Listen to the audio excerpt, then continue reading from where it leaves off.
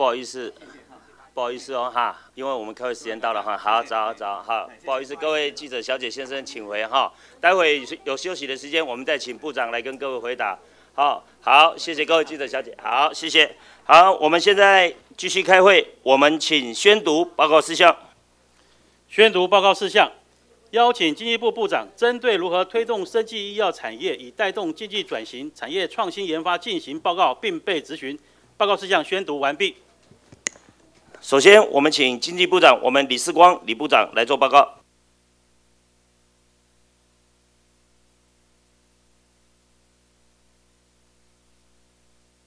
啊，张委早安哈，那个呃各位委员啊主席哈，那么今天很高兴能够在经济委员会的邀请之下，对于我们这个怎么推动生技产业来推动经济转型，那么产业的创新研发跟我们的委员会做一个报告。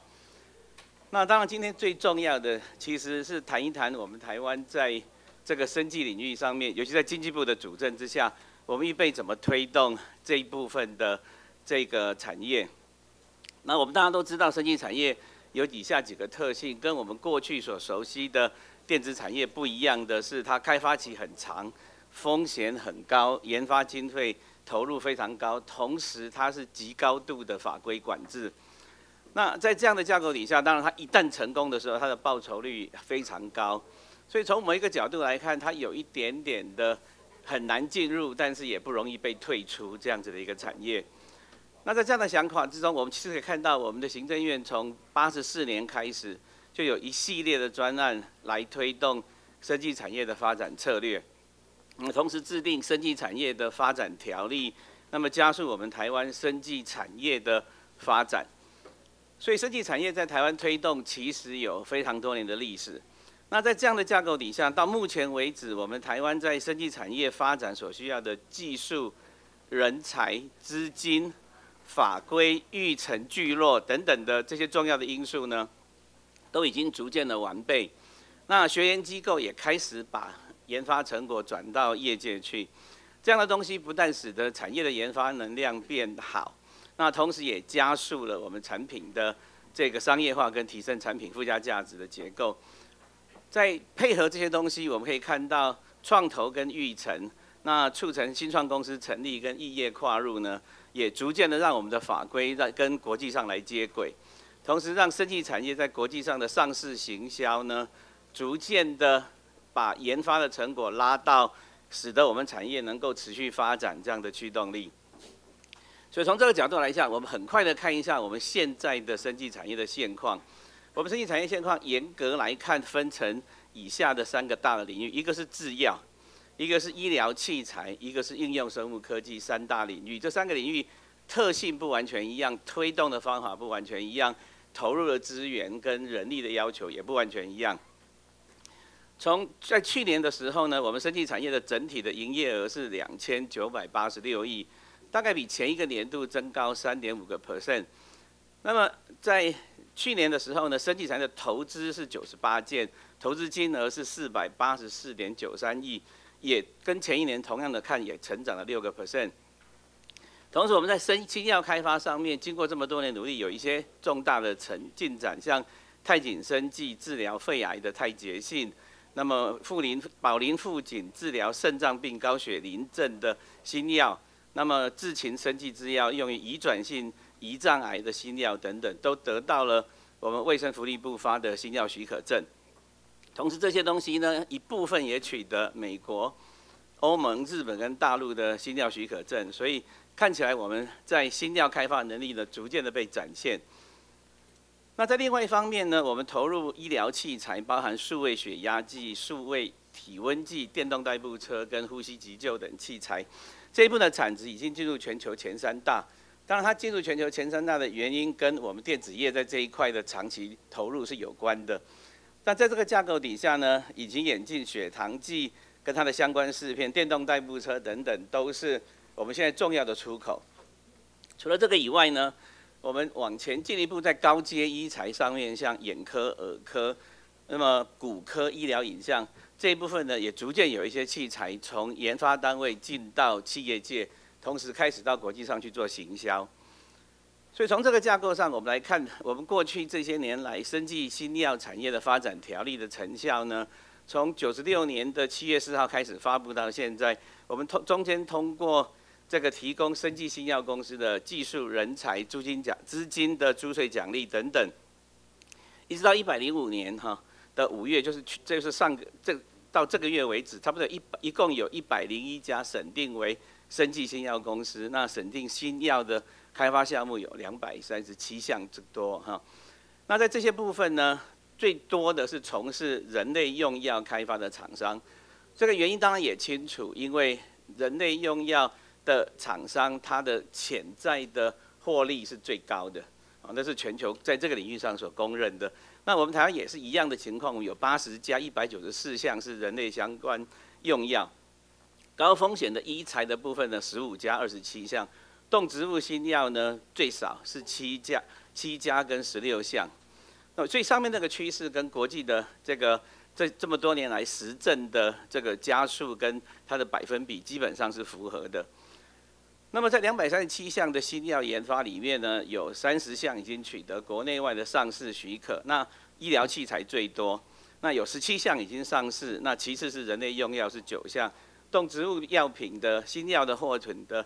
这个品项只有四项而已，所以我们从这个角度看，生技这个医新药的它发展条例呢，所推动的产业，它的产业的成长的途径，它的这个目前的成果跟国际的趋势基本上是符合的，而且是一步一步的在往前推动。那我们经济部在推动这一部分的这个策略。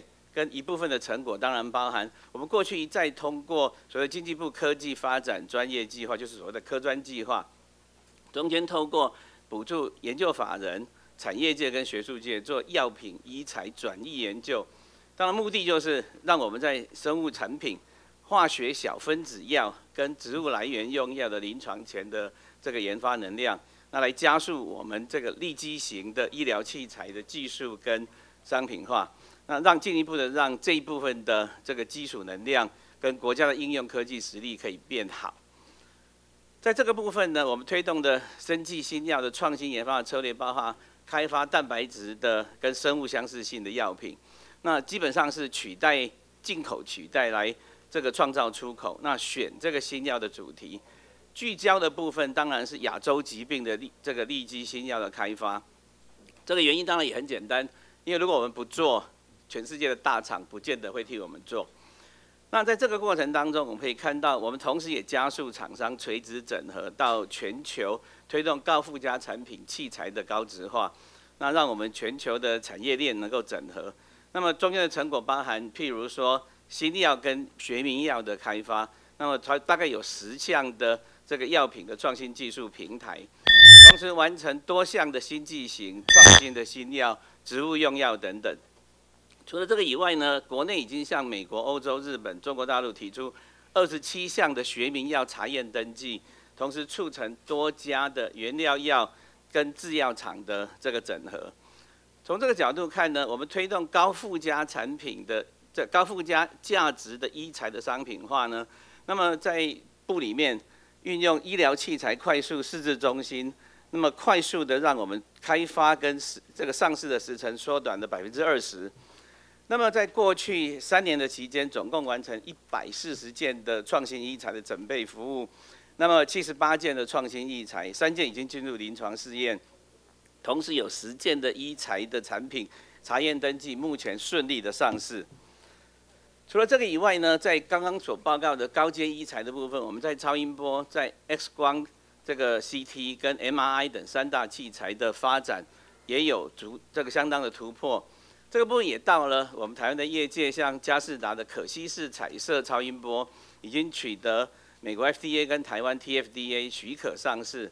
那从制药用医自制的医用的这个 X 光管也已经通过查验登记上市，那么促成我们台湾所做的灯管取代进口。那同时也筹组法人跟学界联盟投入开发我们台湾第一台自制的 MRI。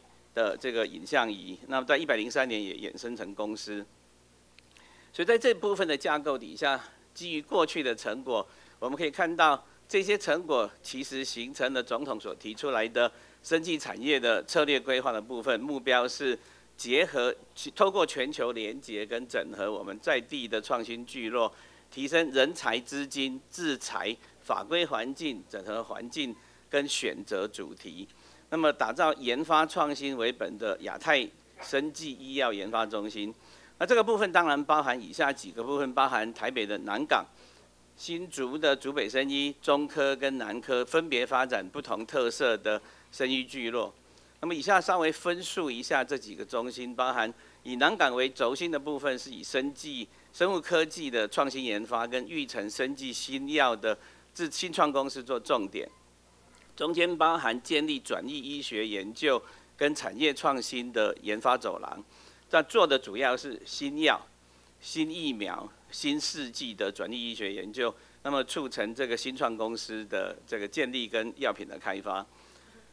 在竹北生医园区着重的是医材，就是我们刚刚所报的三大项目的第二项。那着重的是高阶医材创新研发跟生物制剂。中部科学园区做的是研精密的仪器跟检验医材。南部园区是骨科跟牙科的精密医材。这些选择并不是。随便选择，他的选择基本上是他跟他原在地原有的产业，那么再配合上刚刚那些政策，进一步的往前推动的。所以在这样的架构底下，我们可以看到整个全民的健康福祉其实跟医材息息相关。那么经由生技产业跟健康产福祉产业这两件事的结合，才能够让我们相关的产品的发展，可以使得整体的产值能够提升，来增加就业率。所以我们会持续的以刚刚的那三个想法，除了那个部分以外呢，进一步的把制药、医疗器材再加上健康福祉这个产业来当做推断的重点。那么制药的部分就包含我刚刚所报告的新药的研发，聚焦特色的药剂药品的专业开发生产。那么基本上让它从新药研发一直到制剂的设计。那么量产的价值链整体一起能够完成整个产业供应链的这个设计跟制建制，在医疗器材产业部分推动医材高值化，发展特色化的医材专区，同时把智慧整合的智慧的化的整合系统整体加进去。那么这个是奠基于我们过去这些这几十年来在 ICT 资通讯产业的努力，把智慧加入医材里面。健康福祉产业呢是新的服务模式，结合健康领域的借有品牌、品牌、品牌，然后让服务业带动制造业发展，推动福祉的产业跟国际化。这个部分当然一方面是应付所谓的银发经济，所以它跟全球产业的连接点。那同时应用台湾目前所面临的所谓的人口老化等等这些议题呢是结合的。那最后一个部分是我们进一步也需要大院支持的是生技产业的研发条例。那么希望进一步的放宽高风险医疗器材的奖励范围，把它从中央目的事业主管机关审定植入或置入人体内属于第三等级的医疗器材这个部分做一个修正，成为指中央目的。事业主管机关审定属第三等级医疗器材或需临床试验使得核准之第二等级的医疗器材，在这样的想法当中，来鼓励我们的厂商投投入研发，进一步的带动产业的升级跟转型。所以让我做一个结论，那么也希望能够得到在座所有委员跟大院的支持，基本上就是。我们本经济部会进进一步的配合总统的五大创新产业研发计划当中的生技产业的推动，聚焦在药品、医疗器材、健康等等产业的发展。同时，我们也会参酌全球的生技产业供应链，那么就造成我们的特色药厂的国际化，那建构高阶医材的产业聚落，推动立基型这个医材系统的智慧化，那么发展健康福祉的产业化。那么，同时也恳求大院的支持，放宽生技新药产业发展条例的适用范围等等这些策略，进一步的让我们的生技产业能够升级跟转型。所以在上面的这几个生技策略的推动之下，我们希望能够落实上游的研发成果，真正能够被服被产业化，通过新药、特色药品、医疗器材、健康服务推动生技产业迈向国际。希望能够借由产品、系统整合跟服务价值，能够带动产值的提升跟就业机会的增增加，同时希望能够让我们有机会成为亚太生技福祉产业研发中心这样的目标。那么以上报告，那么也恳请这个这个经济委员会的所有委员的指教，谢谢。好，谢谢我们李部长。那么我们现在进行询答，委员咨询前做以下几点宣告：每位委员发言时间八分钟，必要时间得延长两分钟。上午十点截止发言登记，如有临时提案，上午十一点啊左右进行处理。那么今天中午十二时十二点的时候，因为我们有排定远洋渔业条例的一个协商，所以我们今天的会议我们到中午十二点。那么登记发言的委员如果没有发言的，好未排未排到时间的，我们另定期举行会议来继续做询答。那么首先我们邀请我们刘国栋委员。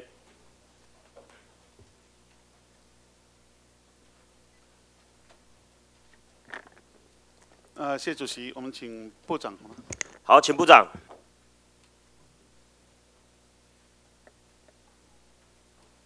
廖员早安。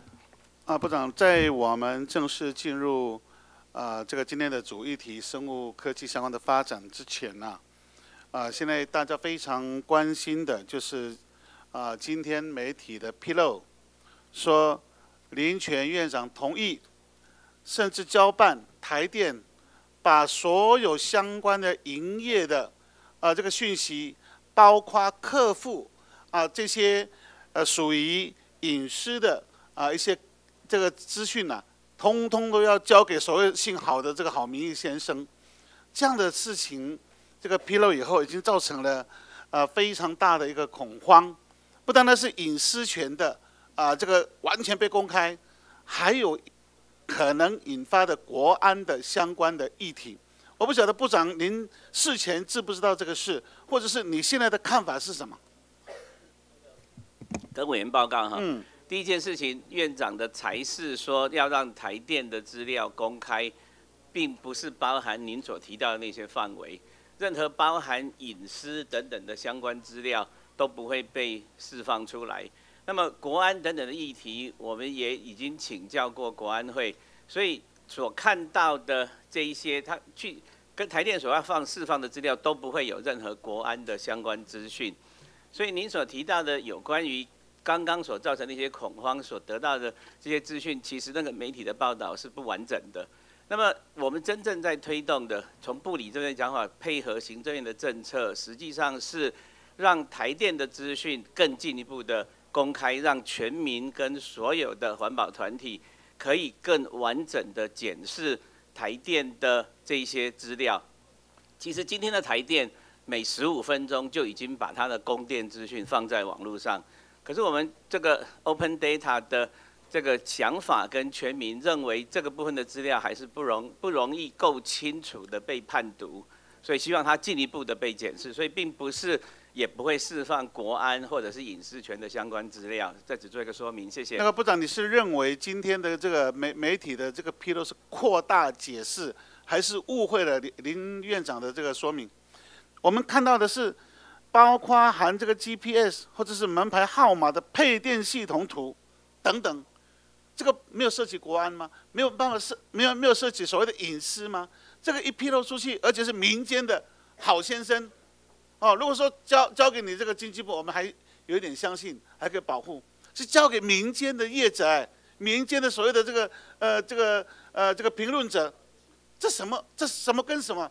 你还说没有国安议题，没有隐私的问题吗？对，那个那个资讯的说法，就所有的这些资讯不会到单一门牌，它是到里今天的资料对外的这个释放，就指的是台电在 open data 这个结构，其实已经到邻里这个等级。那全世界在这种资料的释放，不会到各各户这样子的结构。那个台电在这一部分的资料严守，它的分际是清楚的，部里在这件事的想法也是一致的，所以。那个说法，我们必须很清楚的讲清楚，说那个资料的配电是到邻里这个结构，假设要真的释放，所以那部分正在讨论，但是它并不是到每一个门牌号码这样子。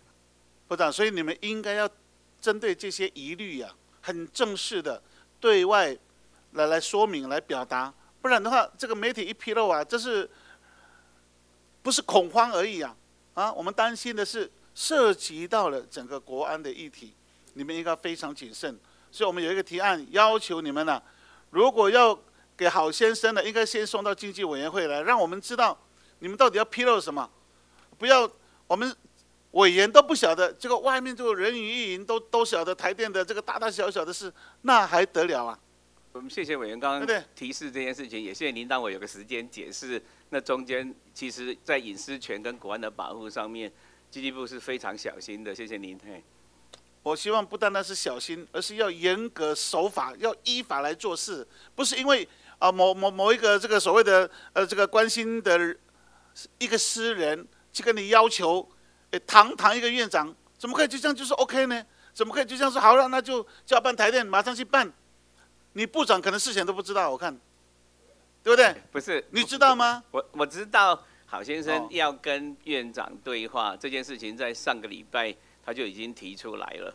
那我们部里其实也在有开了各种各样的会议，那希望把这一部分的资料，我们上次有报告过，我们认为 Open 台电跟 Open Data 是全球趋势，那我们也愿意配合这一部分的。有一些可以 open，有一些是不能 open 的嘛，对不对？你今天 open 台电，明天 open 中油，后天 open 这个中钢，会不会一时全部变成 open？不该 open 的通通 open 了，那那国家像什么国家？社会像什么社会呢？是，谢谢廖委员指出来这件事情。这个在这部分当中，Open Data 这件事嗯本来就有它分它的这个法规的分际跟国安的要求。那这这一部分是全球趋势，但它同时也有国际上跟这这么多年来所有的网络社群推动这一部分的这个分际。所以谢谢您指出来这件事情。那经济部。在配合行政院政策之下，这一部分的法规的要求跟国安要求是不会被放松的。谢谢您。你现在这网络啊，非常的发达，有一些是直直接他上网就好了，为什么还要台电来正式的呃给一份资料给他？这个这个有点超过啊，这我不再讲了，因为等一下每个委员都会问你这个事。那我们回归呃今天谈到的这个生技产业哈，你你你们跟卫福部当然基本上是有分工哈，产业的部分是你们在做，那么应用跟呃这个这个这个医疗的部分呢是卫福部在在在处理。那么讲到产业啊，现在大家最关心的是，我们多年以前就一直说这个生技啊是未来的造园产业，但是我刚刚听了你报告，去年我们才才做了两千八百多亿，是不是？所以离这个造园产业还很远呢、最近偏偏又碰到了这个这个浩鼎这样的一个案子，所以我就非常担心。现在你有五个有五个园区，比较大的。主要就是现在的这个中研院的南港嘛，啊，竹北，竹北喊了十几二十年了，这个到现在都还没有生出来。现在你又搞了一个这个这个南港的生技园区给中研院来管，你管得到这个竹北啊不这个这个南港的吗？你你管得到吗？只有产业研究属于经济部的管辖范围，那么它的这个医材出来之后，它的法规的这个管辖是属于卫福部的。那你管那你管什么？上层研发是中研院，那么下层的应用是卫福部，那你管什么？在中间的商业化的研究跟产业的发展这一部分是属于经济部的全责，所以在刚刚我们所报告的那一部分，像提出来高阶医材那一部分商业化的结构，嗯，就是我们经济部管辖的。我举个例子好了，跟您说明，像刚刚提到的华源这个做 MRI 这一部分，它的上游研究原来是在国卫院做的，对，可它进一步往前做的时候，有国际上的人，有产业的这个所谓的这个商商商业模式的这样的专家回到台湾，在嗯国卫院做完研究之后，进一步的产业化研究是在经济部的法人科专跟业界科专往前推动的。部长没关系，那个这个分工啊，我相信你们应该比我们更清楚怎么样去做一个一个界定啊。那么现在我比较更关心的是两岸关系，当今天呢、呃，这个越来越冷的时候，它偏偏又是全球目前是第二的医药市场，未来很可能是全球最大的市场，因为十四亿的人口嘛，啊，他们的研发能力也越来越强，我们都看得到。但是我们偏偏在这个时候碰到这个呃冷冷气呀、把两岸的关系都压压到压到谷底了。我们过去所签的 ECFA 所签的医药合作协议，甚至最近我们甚至两岸呢、有这个四家医院的赴任啊，这个这个这个这个检验报告，本来都是良性的在发展，但是你一旦今天因为政治的因素，造成了两岸没有办法继续合作，你再搞了个新南向，这个新南向足够弥补这个原来我们跟大陆良好关系下所产生的医药的产业吗？产值吗？你这个新南太，我我非常质疑呢。这个谢谢委员指出来这件事情，就大陆中中国大陆的确是一个大的这个生技研发的市场。不过从某一个角度来说，台湾的生技研发，同时我们的医疗产业的水准也是全世界最好的。所以，在在这件事情上面，台湾跟中国大陆是互利的。所以做冷处理不是只有台湾有可能受伤，中国大陆也一样可能受伤。可是进一步的，我们如果能够跟这个其他的国家，像美国、像欧盟、像西南向的这些国家，进一步的往前推动的时候，我们亚洲体体系的特殊疾病跟孤儿药的推动，其实是更有可能可以往前走。部长，你还是觉得两岸反正就是这样了，就继续冷下去吗？不不是这个意思。冷到我们的经济，你你乐见看到这样的发展吗？跟委员报告，那个我没有说我们乐见它冷却哈，嗯不过那个本来就不是在这个架构底下，经济部的想法非常清楚，就是我们持续的在现有的这个政策跟这个整体的国际局势下，继续往前推动我们所需要推动的产业。部长，因为你管辖的不是医生计医药，而且是整体的国家的经济。当这个大家都说 GDP 保一不可能的时候，两岸关系刚好又偏偏碰到这个状况，难道我们的 GDP 要变成负的吗？经经济你有什么良方啊？我们在第一个，我们在上已经报告过很多次，这个经济没有特效药，但是我们会在这个部分来看的时候，我们推动相关产业的内需。那么提到刚刚特殊的这些医药跟医材的研究、亚洲疾病等等，都是我们在推动这部分产业成长必须做。台湾没有内需的，两千三百万人口应对的是那么好好的一个市场，十四亿人口的市场，我们不要。你回头内需，我们台湾两千三百万根本就没有那个所谓的内需了。部分我们想的是以内需的这个部分制造试炼场域来往前走这个产业。嘿你你你讲不出来，有机会我再跟你讨教。好，谢谢我们廖委员。接下来我们请黄伟哲委员。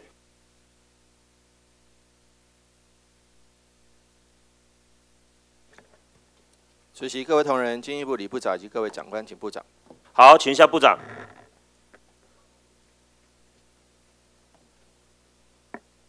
黄园长，部长，请问一下你，你是赞成一例一休，还是赞成两休，还是赞成两例？啊，那个还是作为部长的人，你根本就没有休假？有没有休假？你个人，那个跟这个委员报告，先问你有没有休假？我有没有休假？我已经，你说当进了当部长之后吗？呃，当然啦，那么当部长之前我管不到啊，是是，当了部长以后就没休过假了。没休过假，对对，嘿那你要不要抗议违反劳基法？不过这个政务官不是以这个劳基不能法算劳基法对对了哈，不能算劳基法也没有什么上下班了哈，对对，二十四小二十四小时在上班。对，好了，但是问你，你是赞成两例还是赞成一例一休？劳工朋友们，以现在的这个氛围，我们跟劳动部做了详细的讨论。嗯，那在现在的结构底下，以台湾今天的政治的经济形态嗯跟企业主的需求，再配合上我们劳工团劳工的这个团体所需要考虑的这个所谓的比较一定有一定程度的休息，那么经济部跟劳动部在思考这个部分的时候，我们其实赞成的是一例一休，一例一休，是。所以行政院不久就会通过一例一休的劳基法修正的草案，也就是说，要落实所谓的周休两日，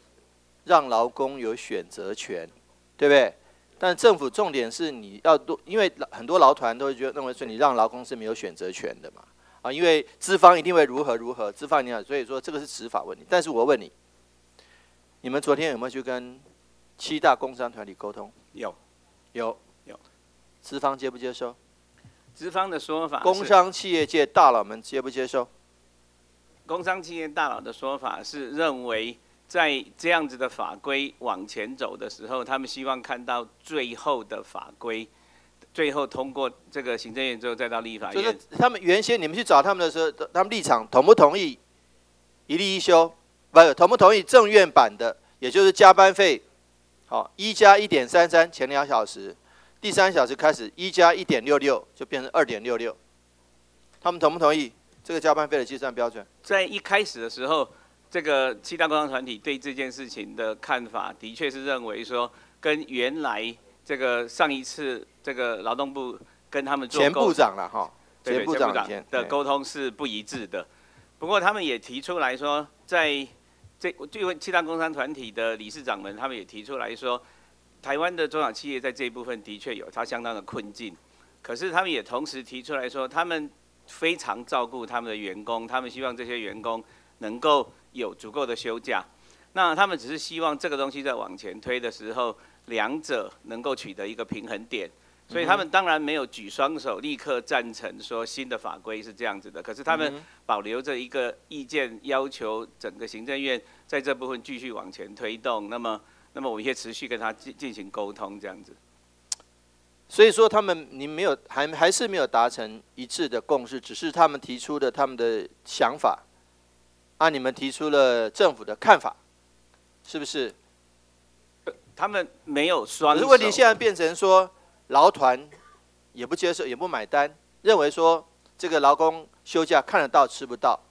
可是资方他也觉得说，中小企业负担不起这个高额，而且坦白讲是加班一小时，哦，那个休假休息日加班一小时等于说要算四小时，一小时以上算四小时，无第五小时开始，第四点五小时开始就算八小时。这个部分怕这个这个资方不是这个中小企业负担不起，可是政府有没有这个配套，能够具体落实这个所谓的原圣院版的这个一例一休的休假日？谢谢您提出来这件事情。就我们昨天有跟这个他们不是啊，是疑虑啊，社会大众疑虑啊。是这个疑虑当然存在。好、那但是他们也同时提出来一件事情，就是说，这个他们根本不可能把一这个请劳工朋友来，然后请他做两小时，然后就把他赶回去。可是资方不是啊？对啊，对啊，对啊，没错啊。他们觉得他根本不可能就是说。资方如果要在在假日、例假日和这不是在休息日找劳工来的时候，他要付出很高的成本，他不就要就不会照理来只做一小时就对了。对他不会这样做的。那而且因为他说他们对他们来讲，可是这这这个都是设想啊，劳工朋友啊不相信啊。你怎么样呢？重建劳资双方的互信啊，进一步包括对政府的信任啊。是进一步的推动。假如从这个角度看，然后在配套在这件事情往下走的时候，绝对会是包含譬如说像劳动检查等等这样的工作来处理，让这个法规真的可以被落实。所以说，重点是你们昨天去跟工商业界大佬沟通，没有只有听到他们的心声，没有听到他们的结论。我没他们没有，他们这样讲，就是说站在七大工商团体，当然不可能双手双脚的赞成原就新的这个版本，这个很清楚。那可是我们在跟他们报告中间的过程当中，其实也厘清了，的就是所谓的您刚刚提到一例一休，同时在这个加班费上面的一些计算上的疑虑，那这个部分有清楚的说明。那他们其实希望看到的是最后的这个这个行政院版之后再来到立院版的时候，那个法规是不是有对完整重点就是昨天没有，就是只是陈述意见、听取意见而已了哈。比那个好一点点的，好好一点点好一点点是多点多大点？好你不要不要把那个按掉，我要听到你的声音。是是，对，就 谢谢，就就那一大点，就有多大点，就看我们最后能够把这个这个立正院的版本再到立院来之后，那个有多大的这个完整的这个法案的这个结构。好，那我请问你，面对国营事业、油水、糖电、糖水、油电这些工会，他们认为华航的这样说啊，那我我也可以在这个这个这个交通，好、你所谓在在桃园登机，可是在中山报道就可以算工时，那大家群起效尤，要求比比照。你跟工会见过面了没有？这个国营事业的大家长。明明天我会跟这个台电的这个工会见面，但是不是因为华航的事情，而是因为我们在电业法这个往前走的时候，是在华航那个事情有两点，第一点是这个对于所谓的上班报到地点，空服员有意见，认为说我们什么时候就应该开始算，因为我什么时候就开始，比如说在松山报道，我就开始整理自己的东西，就开始整理零钱，整理什么东西了，所以应该那个时候已经开始工作了。那另一个是你资方华航的资方，你自己直接变更这个劳这个这个劳动员劳动契约，你没有跟工会商量，所以你是直接片面变更，这个变更是无效的，真的是这两点。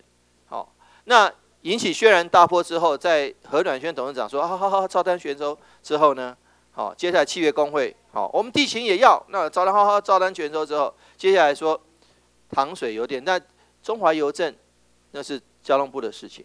但油水糖糖水油电是你的事情，请问政府对于这个部这个部分有没有一致的见解？部门间还是横向联系不够？第二点，你即将接受这个，只要跟台电的工会见面，他们提到了所谓的电业法的这个部分，这是立法问题，还是劳资的这个沟通问题，还是劳动契约要跟劳资的这个变动问题？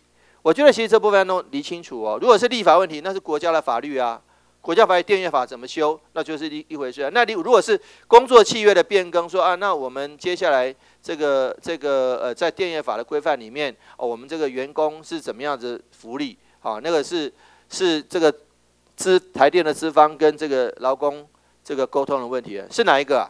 那个跟委员报告，电业法的修法是法律的问题。那可是跟员工的沟通是修法过程当中，我们希望听取这个员工的意见，所以明天我们跟这个这个台电的这个工会所谈的，它的主轴至少原来约的完全是针对电业法在修正过程当中听取他们的心声，才是明天本来讨论的主轴这样子。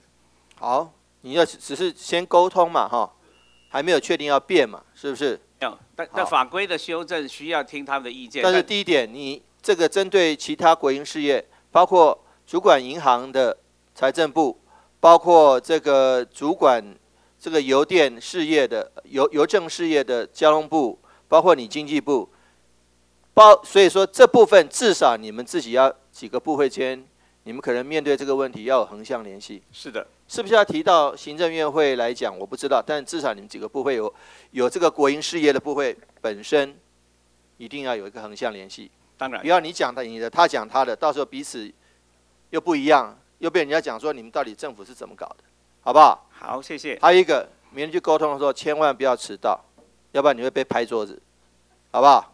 好，谢谢。他他们到我办公室来，所以不可能迟到。谢谢你。他们可以迟到，你不能迟到。我知道，我知道。谢谢你。你也可以晚晚进办公室啊，那是不对的。不会不会，我一定会在那边等恭候他们。谢谢。好，谢谢黄委员哈，部长黄委员有提到啊，千万记住哦哈，协调时候真的不能迟到哈，被拍桌子会很难看哦哈。好，谢谢。接下来我们请孔文吉委员。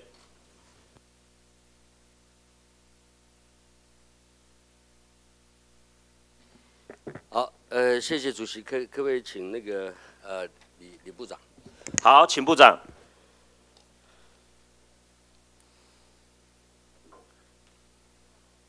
高委员早安。呃，早。那个今天是针对我们啊五大创新研发产业嘛，生技产业的推动，对不对？是。那是针对医疗的吗？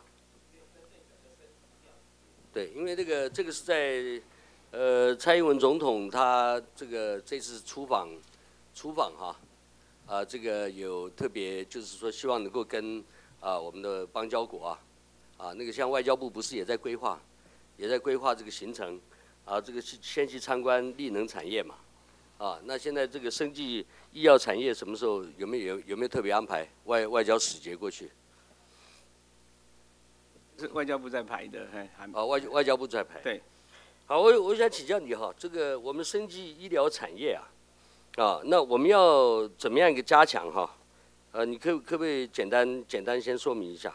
好，跟这个公园报告，在我们刚刚的这个书面报告当中提出来说，基于过去十来年台我们在整个政府单位推动这件事情上面，它包含着所谓的新药的开发、医材的开发，然后呢，在这样的架构底下呢，同时还包含进一步的下一个阶段，包含所谓的银发经济这样的话，所谓健康福祉产业。前面的两，前面的三个部分包含刚刚报告的所谓新药。所有医材呢，那个部分呢，新药是长期的开发，它需要十到十五年的时间。医材的部分是基于我们过去台湾资通讯产业的技术，加上长期的研发，让这一部分能够快速的进到产业的技术上去。那么除了这个以外呢，那么进一步的是银发经济，银发经济在这个架构底下，其实产生的是一个新的商机。所以对台湾来看的时候呢。那么我们台湾两千三百万人在人口老化的过程当中，会产生全新的医疗需求。好，所以那部分是我们进一步推动的另外一个重要的需要借重的一个力量，这样子。那这个开发的技术哈，当然现在我们你经济部技术处啊，啊技技术处里面它它有一些呃技转的，还有一些这个什么医医疗呃什么专呃你你们那个讲什么专专专案计划，啊科专计划嘛。科专计划这里面应该有有一些经费是摆在医疗生计的研究这方面嘛？那医疗生计的研究呢？那你不能只有请呃援援引国外的，台湾这边的产业啊，从它的这个最上游的产业怎么怎么做？好比说我们原住民地区产一些高山地区有一些植物啊，你要怎么样去去研究，怎么去发展？哎，过去过去过去我就有推荐推荐过一个，啊，到我们原住民两千公尺以上。海拔的这个高山，看有没有这些特殊稀有品种，哦，那个时候你们呃科专计划里面有一个叫什么有去研究，那现在现在结果怎么样？有没有针对跟？所以我说你们要连接到原住民地区的这个什么上游产业了，有没有？那个成成果有没有？跟委员报告，医疗医药对那个这个部分是属于植物药的一个开发的部分。嗯，那这个部分是有结合这个国内一些中中草药或药草的部分来去做相关的这个植物药的开发，包括治疗像那个呃糖尿病啊，哦这个呃一些这个呃心血管疾病啊、痛风啊、气喘这一类部分都有在进行。对了，那个成功率多少？这失败多少？就是说你你有研发出新药的，哦，有研发出新药的。啊，那个现在有这个上市的，有有有有几个成功率，有几个什么？要不然我们过去几千万、几亿的投资，在那里等于是浪费嘛？对，哎，那个跟委员报告一下哈，在这个动植物用药，就是刚刚所谈的这个整个所谓的植物药是包含在里面的。那么到目前为止，这个厂家的这个家数大概是七家，十六个品项，大概是。这个我不是讲动植物用药了，就是说。呃，我们这个原始的这个构想，就是说，你你这个要去研发医医疗这个呃生计这一方面哈，那然后就是跟原住民地区，我知道你们有请林务局的林业试验所，哦，这个有请就雇佣几个原住民，这个专门去采采取中药，哦，那这这个部分这个这样的研究的结果现在怎么样？本报告那一部分的研究是在农委会做的，不是在经济部这里做。但是他那个也是用呃科专科专计划不没有吗？对，是科专计，但不是经济部主管的科专计划，那个是农委会这边的科专计划。所以我我我需要你去查一下好不好？好的，查一下，因为我我是我是想说，你们那个经济部这个科专计划里面有哪些是原住民的研究计划？哦，整理再给您一份。对啊，有哪些是跟原住民有关的？跟他的一个产业，或者是说跟他的。呃，禁用原住民的一些在原住民地区进行的研究，啊，这个找了一些原住民的工人，啊，这些产业，啊，这个大概占几成的比例了，啊，几成的比例，它的这个成果成成功率是多少？那我是我是对这方面，今天谈到这个，我对这方面是比较，因为我过去我六七年前我我也我也提过啊，啊，甚甚至于还去参观你们在内湖的什么有一个呃生计什么中心嘛。生技中心，南港南港生技中心嘛，内湖生技中心啊，对对，啊那个执执行长，来，我请那个科长。不好意思啊，因为比较细的这个资讯啊，就是我们经济部的科技专案有投入中草药的相关的研究。那孔委员呃几年前也有提示，我们呃，包括工研院的生医所哈，植那个植物药的研究团队都有到这个原乡有去做一些相关的这个合作的事情。那目前中草药的研究呢，呃，最快的就是说，因为大概从十几年前开始嘛，那现在最好的一个状况是在临床三期啊。啊，就是那个左左手香所研究出来那个糖尿病伤口愈合的案子。那其其他呢，还有一些包括呃呃肝癌或者是肝肝病相关的一些案子，还有包括气喘的啊呃免疫治疗的，有好几个案子现在都还在够就是了。谢谢。好，那那个我这份报告给给我一下好不好？好。那我部长，我是我我这样的建议哈，我这样的建议就是说，希望以后我们的经济部的像生机医药产业，啊，怎么样结合像我们原住民地区的资源、原住民地区的人力这一方面，啊，当然研究人员可能都是非原民嘛，但是那些劳工去采集的都是原住民呐，啊，类类似这样啊，这个这个我是希望有这一份报告报告出来，好不好？我我们会把那份报告提给您。那那个因为那部分的主管部会在农委会，我们也会跟农委会这个讨论这件事怎么进一步的配合。好，那这个书面资料给我了啊，好吧？好，谢谢谢谢。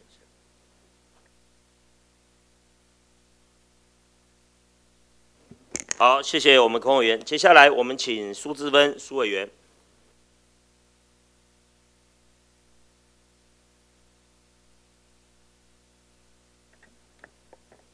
主席，我们是请部长好吗？好，请部长。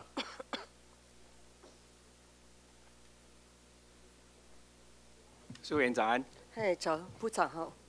呃，部长，我们今天要讨讨论的是啊，生技制药了哈。呃，生技制药的这个这个产业其实是啊跨部会哈。嘿，那么先请问部长一下，那么这个跨部会来讲的话，现在行政院是哪一位在主掌这个这个跨部会的？科呃，按照过去的习惯，现在也是是是科技政委，就是吴振中政委。哦，OK，好。因为生技这个医药产业的话，我我我我们都知道的话，它一定跨到，比如讲是教育部，因为要培养很多，好很多很很多啊，比如讲是核心的科系，还有周边的科系哈，还有资源的科系，太多的科系哈。啊，这个如果没有培养，在教职呃教育的体系里，如果没有培养这相关的人才出来。我们在谈很多的生计医药的产业，这个还是什么？这个还是非常的欠缺一大块哈。是的。那我们也知道，就是说，你今天的业务报告也提到，就聚焦亚洲疾病利基的这个新药的开发。现在到任何一家的大医院去，我们会觉得什么？像菜市场一样。好，那么亚洲疾病的利基的新药的开发，我可不可以先请问哈？请请问部长一下，你对亚洲疾病利基的新药开发，你指的亚洲疾病，就台湾是什么的？以过去这些年来，我们在全球最受瞩目，而且花最多力气，同时取得最好成效的是肝病相关的研究。我们曾经说肝病是台湾的国病嘛？啊哈，OK。那么目前来讲，就肝病这个部分来讲的话，哎，我们啊国家的话是哪一家药厂，或是哪一个研究单位？是中研院呢，还是成大呢？就是是哪一个研发单位在带领着我们这个国病？在研发这个所谓亚洲疾病的新药开发。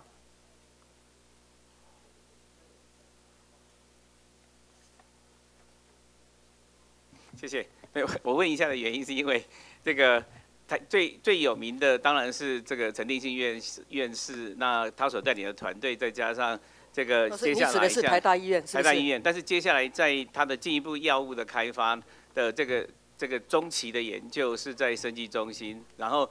最后到商业化去是在基亚科技这样子。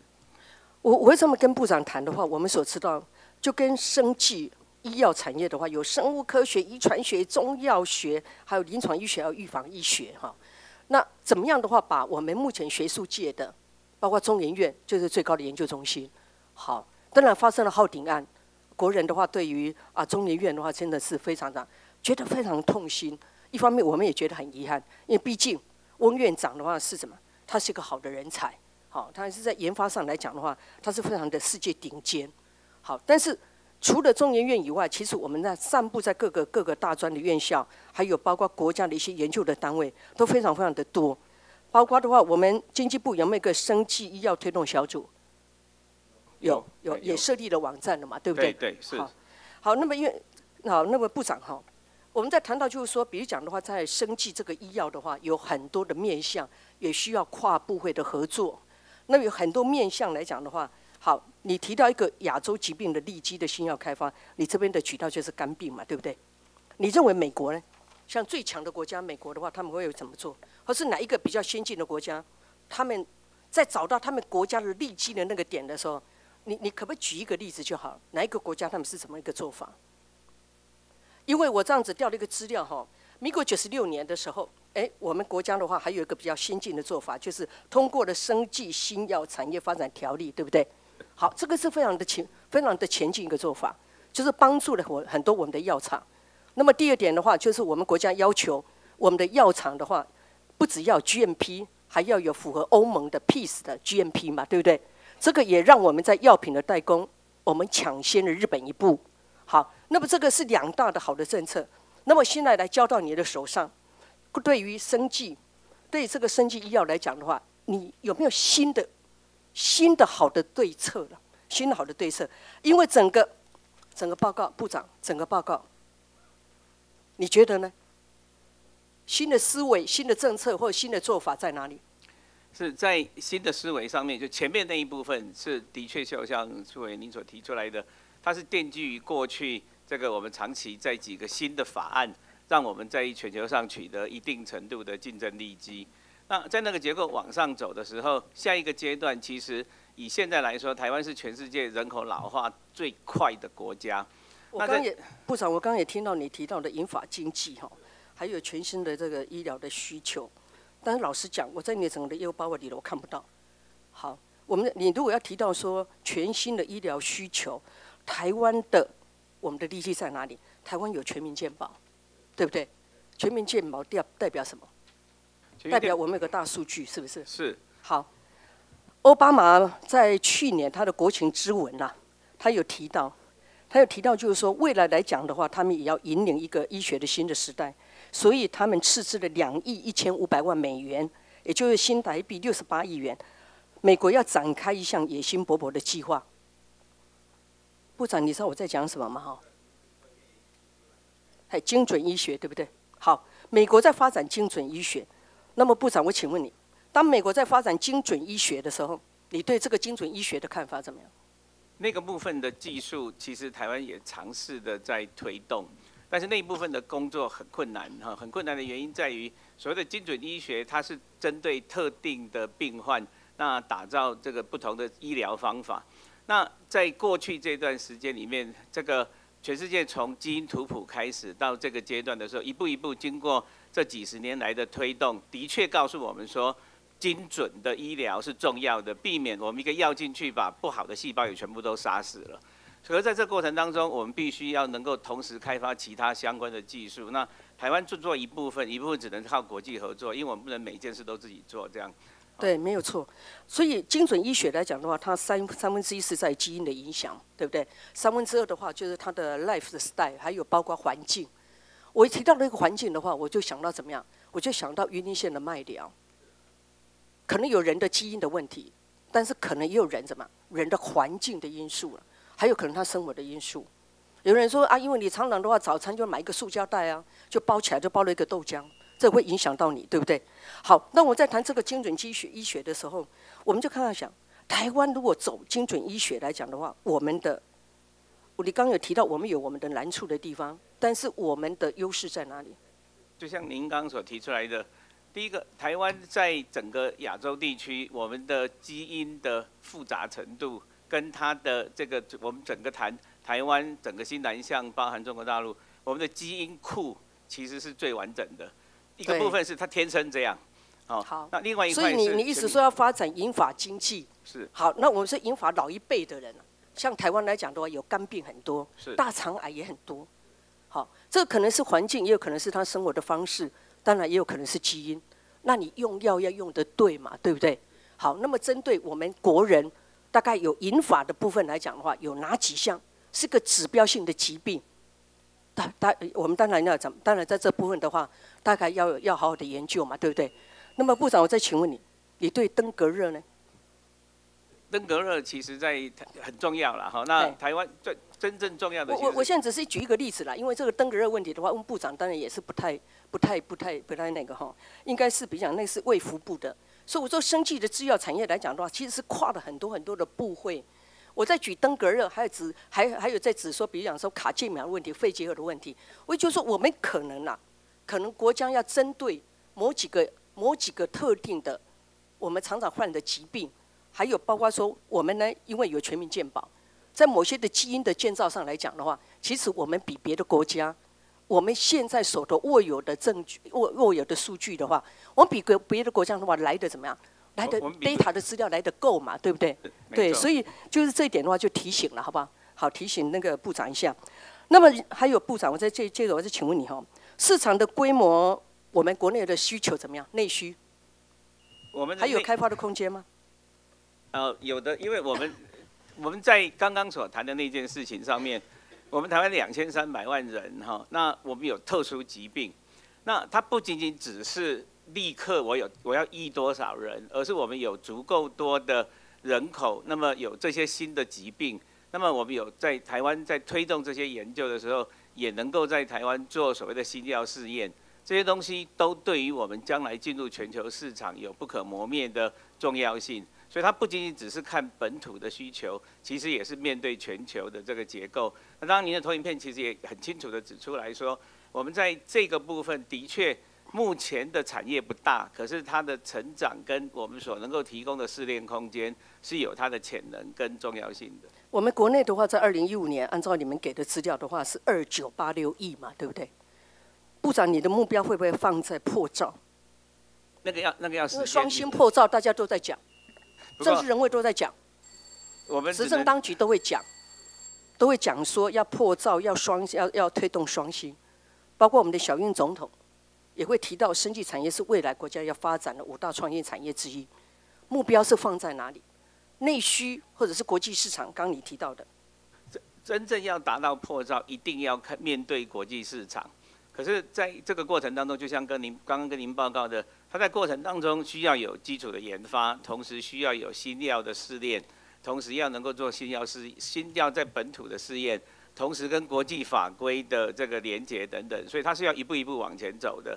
所以长期的目标是一回事，中间怎么一步一步对，的走所以。因为这样子，部长你应该给个时辰，因为通我我们一个企业的观念就是说，当我们在推动某一个政策的时候，我们一定要给时辰。这个时辰的话，你是你是哪一你是哪一项的政策，你是要一步一步去推。那么这一步这个法规改了，或者是跟国际的市场怎么样去接轨，或是说我们的新药的研发怎么样跟国外做接轨？我想这有很多很多的领域啦。但是我这边是提醒部长，你在很多很多的面向来讲的话，你还是要定出时辰了，好不好？好，就像我们说选择重点发展的，还有特色的领域啦，有粮食的、生态环境、能源，还有感染性的疾病、慢性疾病、癌症，还有抗衰老，还有三 D 的器官裂印，还有延长寿命，这九个里面，部长，你觉得这个九个里面是你你未来来讲你最想发展的一点？那个你看看这个细胞疗法，台湾人的是每一年去到日本的，那个那提升自自提升自由的这个免疫力，一百万两百万台湾人安尼伫咧开呢，嘿，关公安去一抓转来了后，你看唔到一百万就开去，两百万就开去，这已经恐怖一件代志了，对。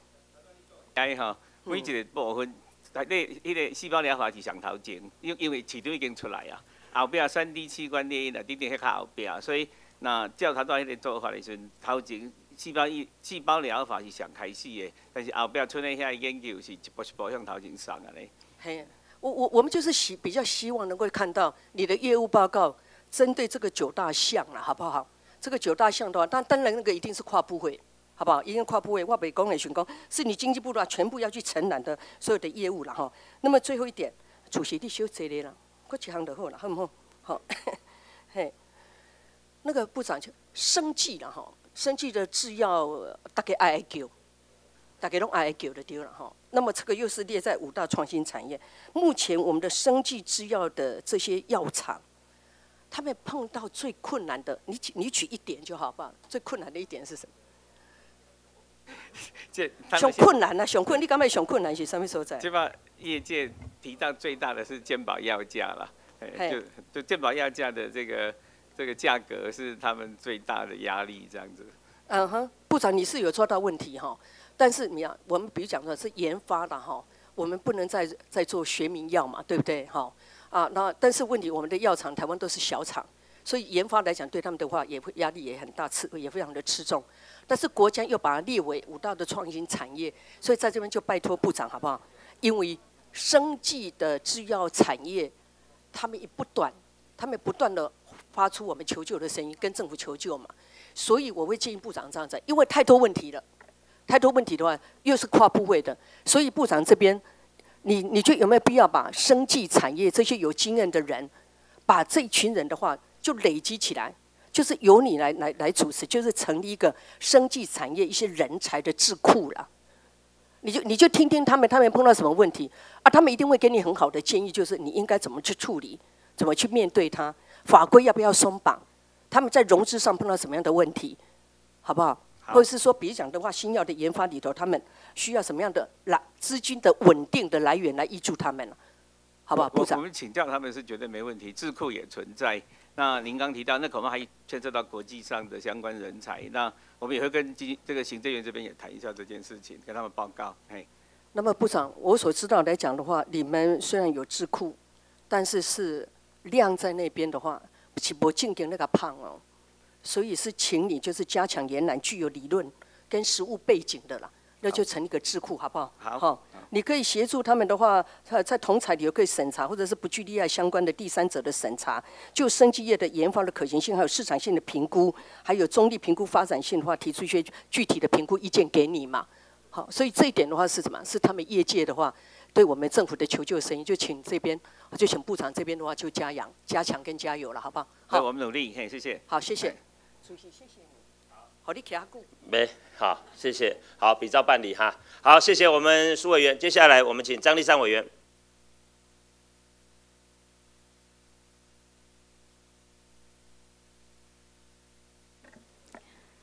好，部长先喝口水好了。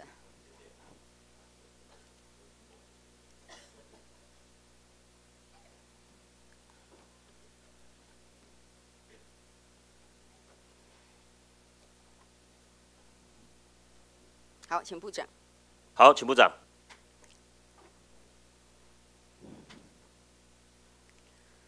状元早安。好，部长辛苦了哈。我想我们今天是针对如何推动生技医药产业哈，来带动经济来做讨论了哈。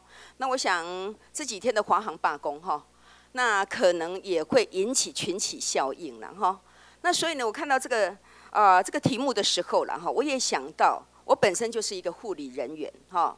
那如果假设我们所有的医疗界的人员，包括医生、护士、检验师、放射师、药剂师，大家都来罢工，你觉得可以吗？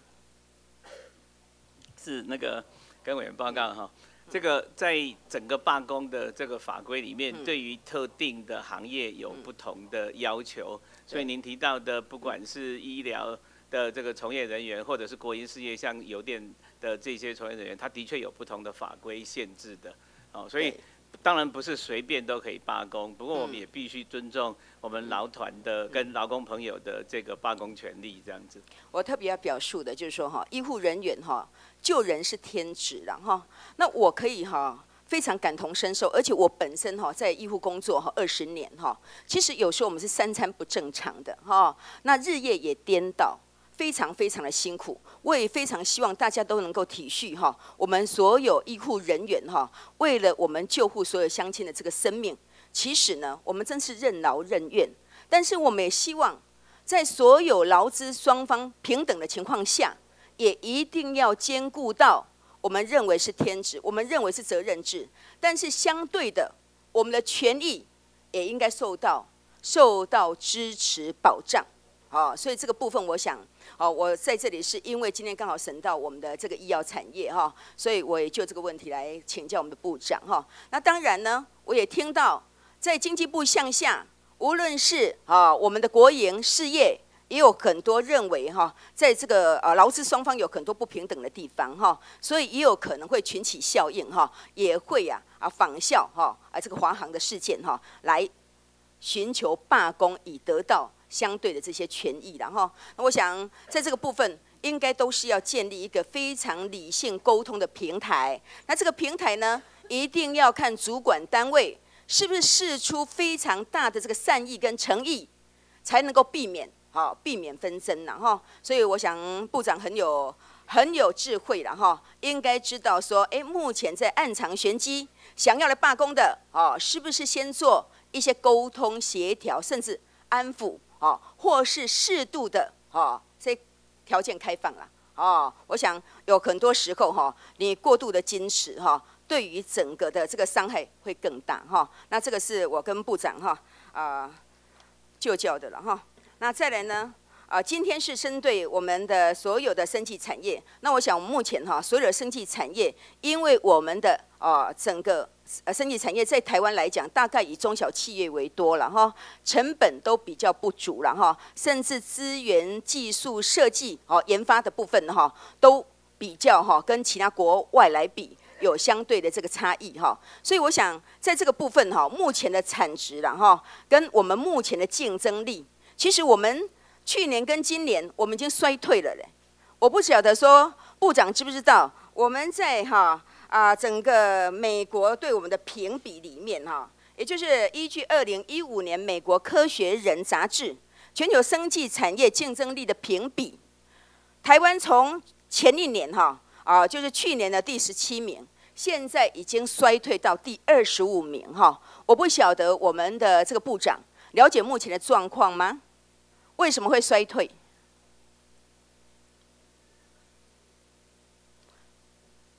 为什么会衰退？好。这个部分，因为它其实在这个评比的部分，应该是比较着重在研发的成果的部分。那因为我们整个的呃整个产业的比重，我们应该是在后段的呃制造，还有这个生产，还有的的的这个部分。所以其实在这这个，所以我们不注重研发喽。但是不是这个就是说，可能这是一年一年的一个一个结果而已。我相信我们在这样子再继续推动下，应该是还可以再提升，还可以再上升哈。我想研发是相当重要的了哈，因为呢，我们目前哈在所有像上次。是部长有讲嘛哈，我们生计人才哈，人才技术还有智慧财产权嘛哈，以及我们的竞争力，还有我们商业经营的规模哈啊，我想还有法规的限制方面哈，都会影响到我们这些整个的啊生计产业的一些竞争力。但是你们非常清楚哦，为什么在生计产业大家这么重视？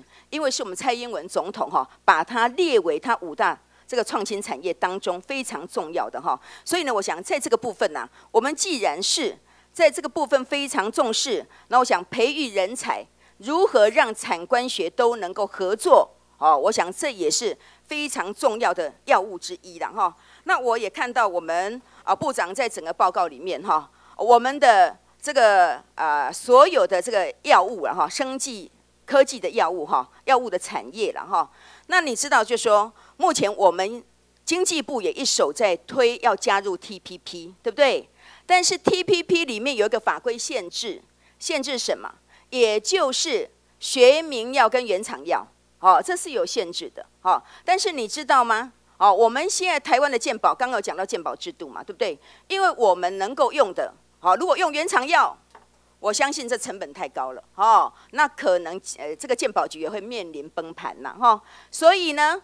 在这个两个间距之下，又要加入 TPP 哦，那我们的这个健保局，我们所有全民的这个健康哈，那如何能够相对的保障这个部分？我请部长讲一下。是那个药价的定定不是经济部的主管范围，那个是卫福部这边在主导的。嗯。那对于我们经济部主管像做 TPP 的这一部分讨论的时候。我们的确面临所谓的学名药跟原厂药这种在国际竞争必须要有一定程度的所谓非歧视，甚至包含本国人跟外国人之间的这个公平对待等等的这些相关法规。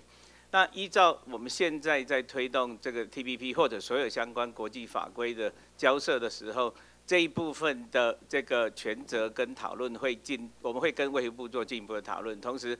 在这样的架构底下，行政院其实是亲自在督导的。换句话讲，TPP 的这一整块的结构，绝对是跨部会。来，我想请问部长哈，部长，你知道什么叫学名药吗？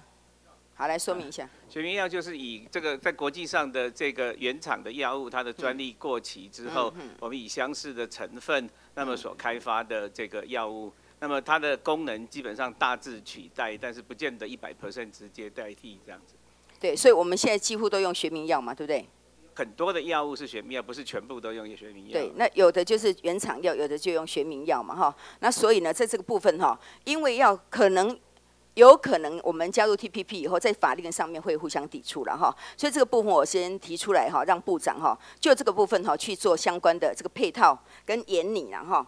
那还有就是说哈，我们现在整个生技产业，因为现在已经面临老人化，大概很多人哈哦借由健康食品呐，或是有很多的这些生技的这个产药，或是我们的中药材哈。但是呢，目前面临了哈，也就是说这些啊整个啊中药材的这个研发好研发，我们产官学如何合作？因为研发好了以后，可能就开始负重了，就放在那边，整个行销跟推广。其实是不利的，而且是不顺畅的，所以也就是今天为什么哈这个生气产业到目前为止啊哈，它没有办法产值相当高。好，请部长。是，谢谢。那个您刚提到的是，我们的确有看到这个问题，就是说最后的一里路到了国际行销这边去，因为我们的企业不够大。嗯不过我们在过去几年也的确看到了一个另外的例子。那么以台湾来看呢，像环瑞生医，就是去国外买下。全世界前三大的品牌，指的是所谓的影像医学，回到台湾来之后，再进一步的把它的研发移到台湾，然后一步一步倒过来做的。所以我们的确，那在我们这个经济部的这个科专之下，也支持一部分这样的案子。所以他的确也看到这个问题。那我们看到这个模式有它一定程度的好处。不过它到底能够造成多大的冲击，需要进一步的研究。OK，好，那那是不是要请部长跟我说明一下哈？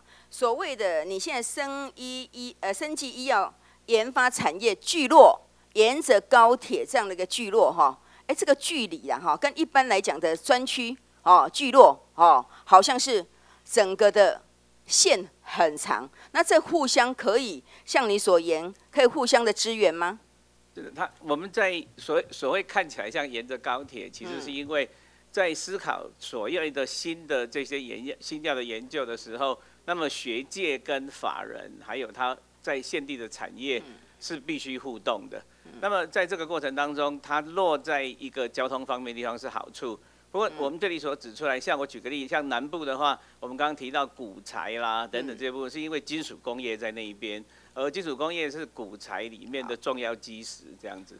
我想我们拜高铁之赐了哈，一日生活圈了哈，当然就是说可以把这聚落哈啊做一个串联哈。但是呢哈，这个园区哈已经过去十六年到现在没有成功了哈。那我是不晓得，就是说哎，我们部长是不是有更新颖的哈啊这些创新研发的理念，或是你有更高的这个技术，能够突破这十六年的这个困境？我也希望听听部长你大概有什么样新的想法。我想委员您指的是新竹生竹北生医园区嘛？哈，那个十六年指的是这个。那竹北生医园区，它在原先的规划用的是以医院为中心，那么提出一个全新的医疗中心。可它在进一步往前走的时候，那么它现在的结构是做高阶医材，那么中间包含国研院，那那不是经济部的主管范围，但是也包含我们在要求公研院的这个医学这个呃生医中心去。协助做所谓快速试制中心，那是一部分，只是协助它的技术的研发，所以它的主轴点在高阶医材的进一步的研究跟它的产业化。OK，好，部长哈，还有我上次听到应该是科技部了哈，他也把一些问题哈啊有陈述哈，就说我们在啊人才啦、技术啦、资金啦哈，还有在法规上，好法规上。好像目前面临有很多的这些啊科技的人才啊，他认为就是说我们在研发好这个啊所有的生技产物的时候，然后可能会有一些未上市的股票哈。那这未上市的股票呢，哦在诶还没变换成现金之前是要缴税的哈。那这个部分呢，我想听听部长，如果法规要松绑的话，你的想法是什么？您指的是在过去我们曾经尝试的，比如说在征收这个技术股的时候，那么延迟五年这个付税的这件事情，那我们听到非常多的新创事业的这个业界的先进告诉我们说五年是不够的，所以在这个往前走的时候，当然我们尝试的闭锁型公司的公司法的修正。那在这个部分有一百六十家公司，可是他们觉得还是可以再进一步的跟国际接轨。所以以布里现在在推动这件事的时候，我们在推动商业法商业法的这个修正。那希望在这里面能够做进一步的调整，而且让业界的声音，让这个全民的声音更清楚的进到这个法规的修正当中。好，部长，我想在任何一个法规在呃修正之前，都要审慎评估然后我们最担心的是说，如果说啊会产生日后的弊端，好，那这个就是我们在法规制定的时候，应该要把所有的优缺点哈，有可能产生的任何疑虑，都要先评估在里面，做风险评估了哈。那再来呢，最后一个，你最近有看到选巡去参加毕业典礼？选巡没听过吗？他就是，嘿，有一位小朋友嘛，哈，他因为经过呃这个受伤以后，大概。是用干细胞来治疗嘛，哈，对不对？但是干细胞治疗到目前为止啊，他的情况呃非常的好哈，非常良好，也能够哈简单的表述了哈，甚至哈他还参加毕业典礼。第一个是保障他的生命嘛，哈，第二个呢，他的这个意识哈恢复的情况非恢复的非常好。我在这里只是要讲，就是说我们可能成团成团的去日本去打胎盘术，对不对哈？但是我们自己国内还有。嘿，非常好的技术哈。那现在目前干细胞大概也已经有很多人体试验是成功的哈。那这个部分呢哈，是不是也在我们生技产业里面呢？应该要特别重视啦。好，应该要特别重视了哈。也就是说，我们自己国内哦的人才技术这个部分呢哈，应该要特别注重如何来做协助。好，好，来说明一下。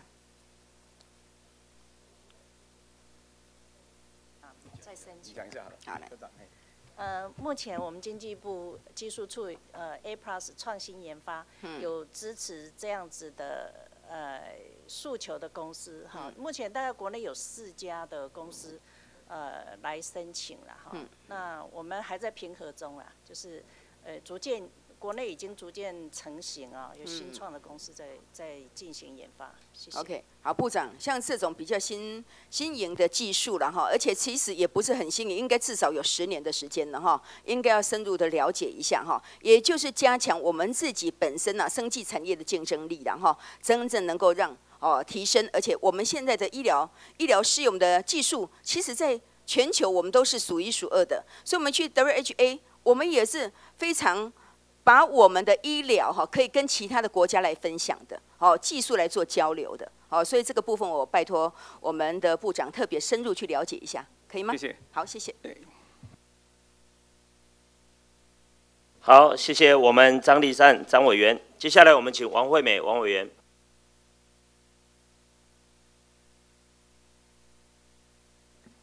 主席有请部长。好，请部长。喂，早安。早，部长哈。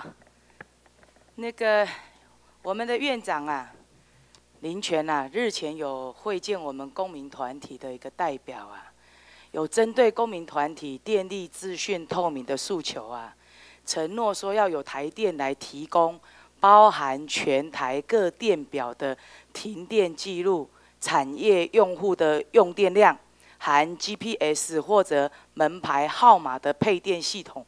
这些数据啊，在内有超过五十几项的数据，好供他们来做调查跟研究。那本席请教，这个资料提供了吗？哦，还没有。预计什么时候？呃，这两天就会提供，但是那显然你们的数据都有嘛，对不对？不是，那个我得说明这件事情。他那个那个 GPS 门牌号码不是到每一户，那是到一个邻里这样的结构，那个有受这个这个所谓的隐私、个人隐私的这个这个。那产业用户呢？个别单一产业用户不会单这样子被列，但是是一区一区的那个在现行的法规是允许的。哦，所以说不至于会有所谓的这个隐私的东西被曝光，也不至于会有公司透过说我知道它的产，它大概用电量多少去回算它的产值哦。不不会，就譬如说我的我家里用多少电不会被直接公。那显然你们说这两天就可以提供出来了嘛哈？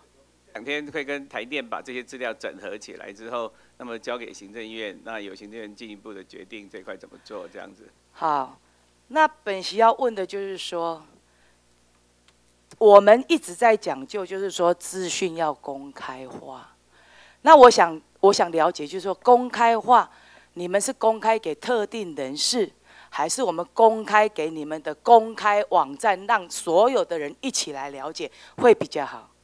那个跟委员报告，那个第一个台电公司现在的资料本来就在网站上，每十五分钟所有的供电条件本来就公开，是公开给全民的。那么我们在整个政府里面 open data 的结构底下，本来就有国发会的平台。那么我们经济部在相关法律，所以这个东西你要给的数据，这些东西都很 open 的。是本来就公开给全民。那他 open 不会自己去上去要啊？他现在要的是。就是我们一部分的分析到一定程度的资料长成什么样子，那一部分的资料我们要做进一步的整合，那才能够提供出来，所以有进一步的工作需要做的。我们希望你还是要坚持哦，哈，我们的一些所谓不可不可公开的一些东西是不可以随便提供的哦。那个时候，那当然这这个也是我们台电长期要来检讨的。为什么人家都对你们所提供的这个数字都非常的这个怀疑呀？你们呢也是常常在法夹湾呐，一下子说这个缺电，一下子又说不缺电呐。到现在为止，你再跟我确定一下，到底缺电还是不缺电呢？呃，委员，谢谢您提出这个问题。那个不是法夹湾哈，我们在上一次提到说，我们原来在计算这些事情的时候，上次我曾经提到说这个。呃，极端气候，当时委员说你这个家伙，白白话文大概是这个意思了哈，说那你怎么连极端气候也拿进来说？不过的确在台电的一年度的这个电厂的维修的时候，五月份传统上是我们台电维修电厂的时间，那五月份是一百三十七年来最热的五月。那使得我们在用电吃紧，是因为我们从来在一百三十七年来从来没有估算到，我们连五月都不能修电厂。好了，我希望你哦，在与我们这个干净的电源这个部分要快点加强了。好的，不然我看哦，现在说真的哦，我们现在冷气都调到二十八度，大家配合的所谓的节能减碳哦，我们也常常在听到一些 complain 说这样工作环境还是不是很舒适了哈。所以我们希望就是说能够有稳定的一个电力。那当然现在企业界蛮大，一直在怀疑电力到底够不够，他们到底要不要持续在台湾来投资。包括非常多的外资，我们的电力以及我们的这个劳动的这个条件，都是他们列为以未来投资的一个很重要的一个一个观察的地方哦。好，来，那本席再来请教哦，我们今天谈的这个生计啊，我们实际上在台湾也已经一二十年了哈。我们看也好几任的政府一直不断的在讲生计哈，可是呢，我们又从里面的这个数字来看呐，显然这十几年来我们的成长速度并不快。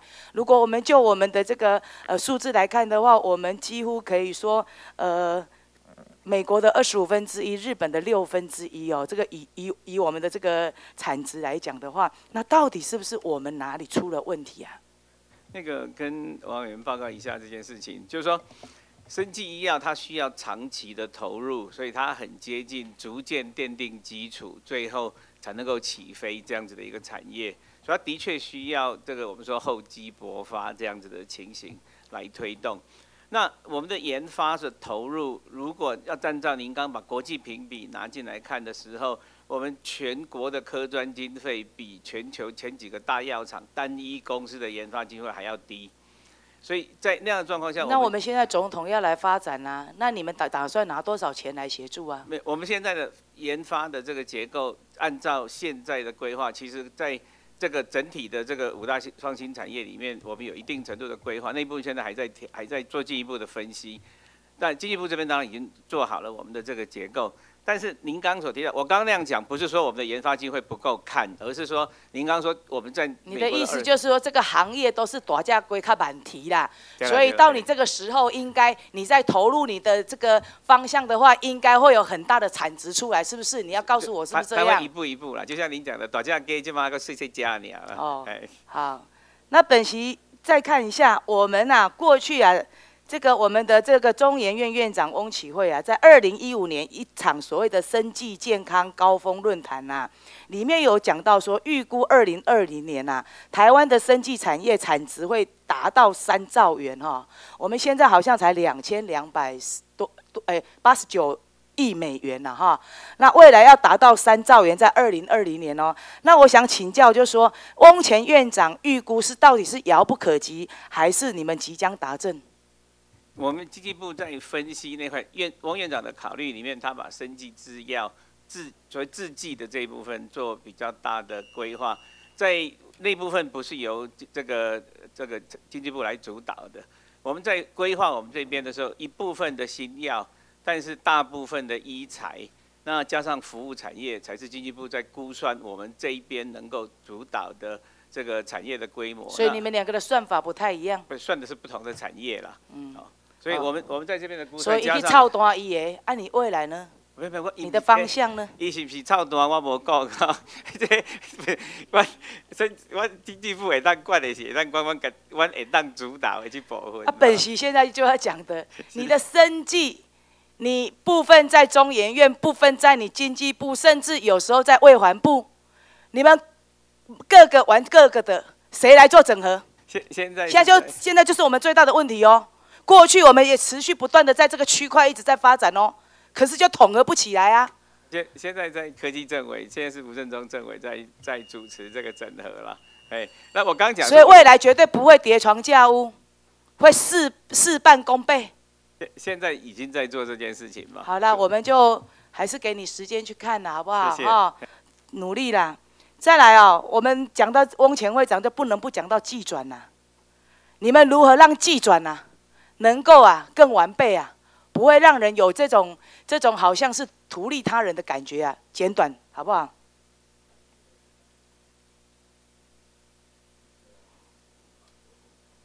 对不对？因为之前本席也提过几个几个案例，我都觉得你们再怎么转都转给自己人呐，没没没，而不是说很多东西不是 open 呐。经经济部这边的法规，经过这么多年来跟业界的互动。他一直不停的在逐步改进。您刚提那个法规，那是中医院的这个计转法规，跟我们是不一样的。没有，我之前也跟你们看过，看过也是这样啊。我我们也你们自己的人进来拿了研发，拿了研发，最后开发东西还是他自己出去外面在干公司啊。我没有，如果是哦，我希望你们在这个部分要去避免掉，好不好？哦，该要投资另外一个管道，但是跟你用政府部门去研发，又是自己这种这这当事者。自己拿到取得专利，自己来，这个这个有点夸张嘞。我们在那一块有很清楚的规定，如果是我们自己的研究案所推动出去，它就必须有技转。再来，我们来看看现在世界各国有起飞比较快的，包括大陆也好，它还是有个政策“十二五”里面，包括韩国最近。起飞的很快，它呢必还是有一个什么六 T 计划里六六诶诶六 T 计划。那我们现在是列在我们五大五五大产业之一，所以我们希望就是说你们能有能够提出一些具体的方式，在这个产业上面能够多多多来努力哈。那本席现在问的就是说，好，我们看到的就是说你们很多的这个能力呀，我们培养的非常的多，但是现在投入啊。只有九趴多，那变成说好像感觉上面我们产学非常的不吻合，甚至我们现在有一些所谓的还有一个什么促进博士后到产业界就业的一个方案，好像我们的政府啊，对于这些博士啊到业界服务啊，每个人还补助三万，不足的部分呢，才有产业界他们来做。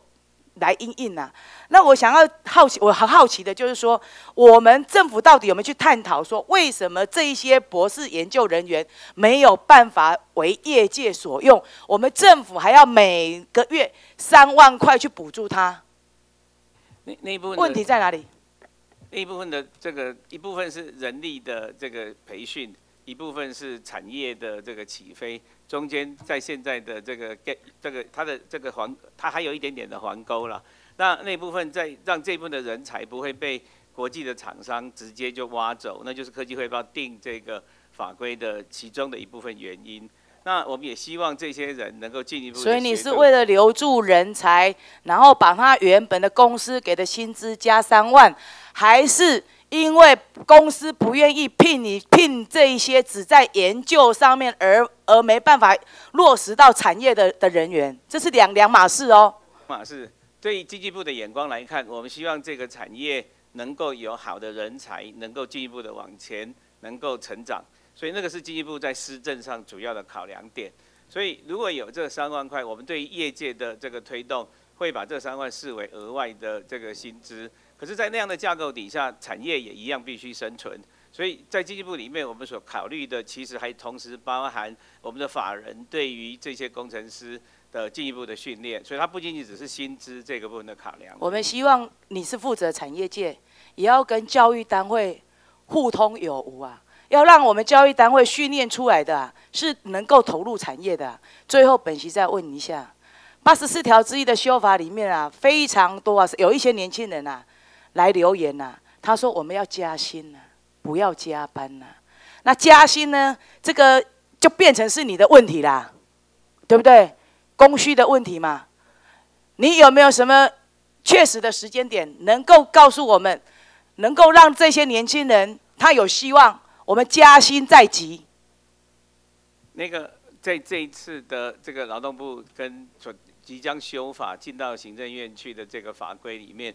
他的一例一休跟他的加班费的计算有放这一部分的考虑进去。那在您刚所提出来的说，那么什么时候会加薪？那个部分有一定程度的加薪的结构。可是其实您刚所提到的，就是我们同我们有很多年轻的这个这个同仁希望能够休假，可是我们同时也有另外一批声音说他希望有加班费。这两者是。两个声音我们同时有听到，都听到了。对，我们觉得两边都重要。好，那在中间怎么让这个法规进一步的能够取得最大的公约数，会是我们大家需要一起努力的方向。好了，你就任到现在也才一个多月哈，不过看你的这个回答，至少是还蛮以蛮蛮进展蛮快的哈。我们期许你快点把政策啊落实到执行面，因为哈公共的哦。过去的部长讲的嘛，拢足好讲的啦。但是有法度落实到实际上无，迄都真大的问题。我们的 GDP 哈保一都很困难。我们希望说哈，透过你们的一些政策的整合哈，能够真的落，让我们台湾的经济能够起飞了，好不好？以上了哈。哎，谢谢委员期许哈。好，谢谢王委员。啊，本席在这边宣告啊，待本席咨询完毕，我们休息五分钟。好，谢谢。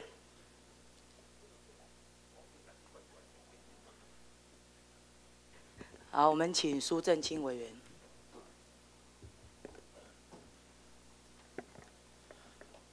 好，谢谢主席。呃，麻烦主席请一下部长。有请部长。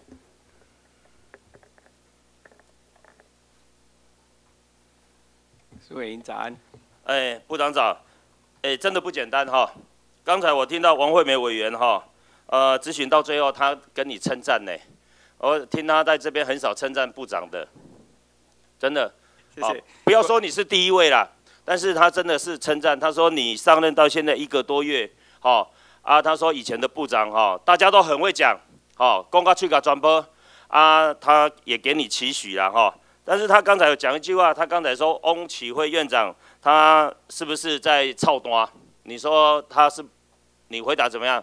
有没有操？我讲我无讲伊操单。你不讲伊操单，啊你你唔得讲伊分家规？我嘛无讲伊分家规。那部长。操蛋跟分给龟差别在哪里？你知道吗？操操啊！操蛋跟分给龟台湾话内底差别在哪里？你知道吗？诶，不好解释哈。不好解释。不好解释。简单讲啦，讲一句实的啦，迄叫做讲话拢无负责任的啦。哦，那套句王委王委员所讲的，我们真的是期许经济部啊，你来担任部长一个多月的时间，啊。那当然，未来要走的路很长，就如同你今天，我们今天排这个议案的用意，我相信你也知道。但是你在你们在这个口头报告里面最后一页，你又说你要推动，希望在立法院能够推动放宽生技新药产业发展条例适用范围等策略，你希望推动放宽哦，对不对？好，那我要跟部长你说，未来在委员会里面，如果你提出这个法案，我们很多委员一定会问你：第一个，他有需要修吗？你说要放宽呢，那代表着现在这个我们现在的条例里面，是不是对业者或是对我们这个生计的新药的这一个产业有太多绑手绑脚、甚至自然难行的地方，对不对？那第二个，我们也希望你既然要我们立法院去放宽，你要有理由，甚至要有本事来说服我们本委员会的委员，对不对？那你最主要，你一定要做到一样，叫做所谓什么？做到所谓的效益分析。盲球团队委员讲，哎，你别给完放宽，放宽了以后，到最后是什么？图利了某特定的对象。那我要讲的，最好你们要做足功课。我们希望是看到产业的十足的的一个发展，而不是变成放宽以后去针对某一项或是某个特定的产业去做所谓的个人的图利部分。这个我在这边语重心长的要请院长啊，请一下部长，一定要好好的做足功课哈。好，谢谢。好，那刚才有很多委员也都谈到，我们经济部这么大部啦，啊，包含着国营事业也很多。我们希望说，部长一个多月，当然一个多月我们看不出成绩，但是未来要走的路很长。我们希望说，既然你担任起这个经济部部长的一个重责大任。我们未来要看的，包含着政府投资的财团法人，包含经济部所属管辖的国营事业，如何做出一番成绩，让台湾人民感受到，哇，现在新的政府的团队、行政团队确实是跟以前不一样的。那如果继续沦为说，像上一次的行政执政行政团队所一直重视的，都是所谓的冰冷的数字，那一样人民都感不感受不到我们。现在支持的这个政府替人民做什么事？好，那讲到这边，我要问一下我们部长哦。我记得好像应该是上个礼拜六月二十二号的时候，我在这边包含农委会列席的时候，我有提出来，我们现在的科学科学园区、工业区、加工出口区，在屋顶上加设光电面板，我们的标准不一。我那时候有提出来跟你们讲，那现在有。各个不同的管辖，比如说我举例来讲的屏东生物农业生物科技园区，它是属于农委会管的，但是它却有不同的做法。刚开始他说他不得这不得架设，只允许在园区里面申请设立的所谓的光电厂、光电厂商才可以架设。部长，你觉得这样合理吗？那个在我们现在经济部主管的工业区是允许的。对啊，你们允许啊，你们经济部所属的允许，但是农业生物科技园区属于农委会的却不允许，怎么会是这样一个状况呢？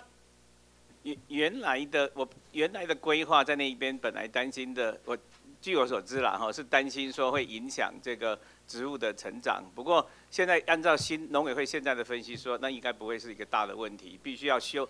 就修改部分，那法规的修改跟那个是他们正在做的事，我不能替他回答了哈。但是我们会跟他协调。我今天为什么还要再一次提出这个问题？屏东的野桃江里阳，政府又是要去推动所谓的光电产业，那不去利用屏东的大太阳，对不对？那竟然说，而且最主要是比较离谱的是，如同你所讲的，经济部所属的一个加工区或工业区，它是可以的。那农委会所属的。农业生物科技园区却是不允许的，奇怪的，一样都是这一一个园区里面。如果简单的讲，农委会刚才说的，它会影响植物的生长，我我是觉得很奇怪，一一点触电会影响农业生那个什么生长啊，对不对？所以我其实讲最现实的一句话，也最事实的一句话，其实政府的政策其实变成有时候是不同的部门有不同的决策啦。所以我一直强调的，我们希望看到是政府横向的沟通的时候，一定要能够充分。那尤其是现在经济部在整个主导这个所谓我们的光电产业的发展，那在各部会的横向沟通，我希望能得到一个所谓的一个共同的一个解决方案，不要到时候一样的，你传你吹你的曲，他弹他的调，那到最后还是一样。那另所谓的进驻的厂商里面有不同的思维。哦，这个我是觉得这个会产生一个很大很大的后遗症。好，我是希望部长能够做足功课了哈。好，那农委会主委这个，我是希望也加快脚步了。好的，因为日头打刚的打刚的遐大粒吧。啊，电动无来，你意思是吗？啊，对 吧？哦，你敢知冰冻真热热？哦，即若买冰冻哦，我看哦，是来讲诶，无你看恁哪毋敢去啦，迄是拍一点钟来规个皮肤来人讲过。所以我说，既然南台湾有这么好的一个所谓的太阳光能，那我们怎么不去善利用它呢？好，好，那部长，我想请问一下，不知道你知不知道，我们经济部当初我们跟那个所谓的阿里巴巴，也就是淘宝提出诉讼，然后他不服，我们跟他采访了二十四万，然后他不服，我们限期他六个月撤资，结果我们在六月二十六号经济部败诉了。那你有什么看法？要不要提出上诉？我们我们要提出上诉，已经提出上诉，已经提出上诉了在准备。我们提出上诉，我们的看法是什么？那个我让这个投人好，来，请说，没关。系。委员好，我是投审会第四组组长。那跟委员报告一下啊，事实上阿里巴巴这个集团在台湾有两两个投资案，这两个投资案都被我们用这个呃中资的部分对都被我们处分过。那事实上阿里巴巴的这个案子我们是胜诉的，淘宝这个案子我们是败诉的，对是等于是同样一个投资架构，但是有不同的这个不同的结果。对。那你觉得，起码我们觉得我们的法官是不明就里、不切实务、不食人间烟火。诶，跟委员报告，诶，淘宝这个案子哦，我们看了判决书以后，我们发现它主要是对我们程序面的问题，还有他觉得我们的法规不够完备的。对你讲到重点。对，我今天要就是要跟部长你讲，因为我们淘宝书是当初他是用外资，他是用所谓外国人来来台投资条例设立的嘛，对不对？对。但是因为它整个结构改变了，事实上它后面控制的是所谓的阿里巴巴。对，对不对？是但是它是因为用外国人来台投资条例，所以法官他认为我们的处分是错误的。但是我今天要跟经济部，我也会准备提出一个修正案，就是当它变成可以，因为我们当初呢没有规定说外资因为控制力转变为中资的时候，没有所谓的实质的审查啦，所以也导致变成所谓法官他认为他是用外国人来在投资条例。所以他认为我们的处罚是错的，所以就如同法官讲的，我们的法法律具备的不够完善，所以我是这边要提醒我们经济部，针对这个，我是觉得经济部哈要提出一个应应的对策，看怎么样来让我们的法律更具完善。那本席也会提出一个修法哈。好，那你委请问员可不可以让我补充？好来你说。就是事实上，我们在我们的入资许可办法里面，我们的第三条，好第第二项，其实我们有针对这个身份改变的问题，我们有做规范。但是因为侨外投资条例的部分，我们未来我们会去补强，因为我们现在正在做侨外投资条例的全盘修正，我们会把这个部分补强在侨外投资条例里面。对等于两个好规范都有，这样子就不会有漏失。所以一定要加强它的一个所谓的规范的部分，就是当它控制力转变的时候，要能够作为实质的认定呐。是。好，要不然就很奇怪嘛。明明是他的子公司，一个阿里巴巴你们赢了，那淘宝却输了，那产生一个莫衷一是的一个看法，这一点真的非常的重要哈。所以请部长你好好的考虑一下哈。好，那最后我还是一样要跟部长你期许了哈。真的，经济部扮演着未来国家的一个最重要的一个经济方向的一个掌舵，那当然也需要各部会的配合。那部长一个多月而已，我也不希望，我也相信你不会因此而自满，因为台湾人民都一直在看，他们都在看的是，到底我们的经济能够什么时候能够越来越好，到底我们的就业率，我们是不是何时能够能提高？那我们的人民他们的口袋里面的所谓的。的一个薪水，实质薪水，甚至他们的口袋里面的钱，到底有没有实质的增加？这才是他们所期盼的。那不要真的也像前朝政府一样，如果真的我们迷失在看到那冰冷的数字，那下一回我们的人民还是一样会用选票来淘汰我们。所以我在这边，我是希望，哈，部长真的要好好的用实际的作为去让人民感受得到。好，好，谢谢，谢谢委员提醒哈。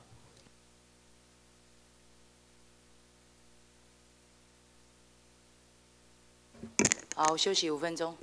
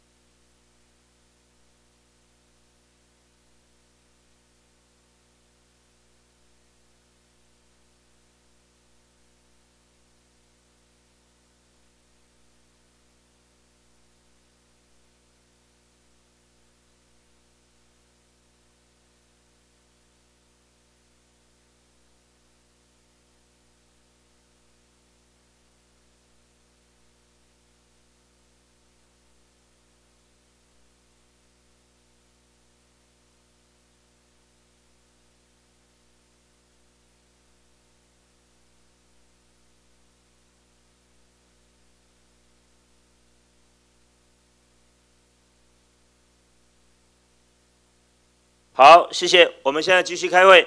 接下来我们请黄昭顺委员。黄昭顺，黄兆顺委员不在。我们接下来请赖龙委员。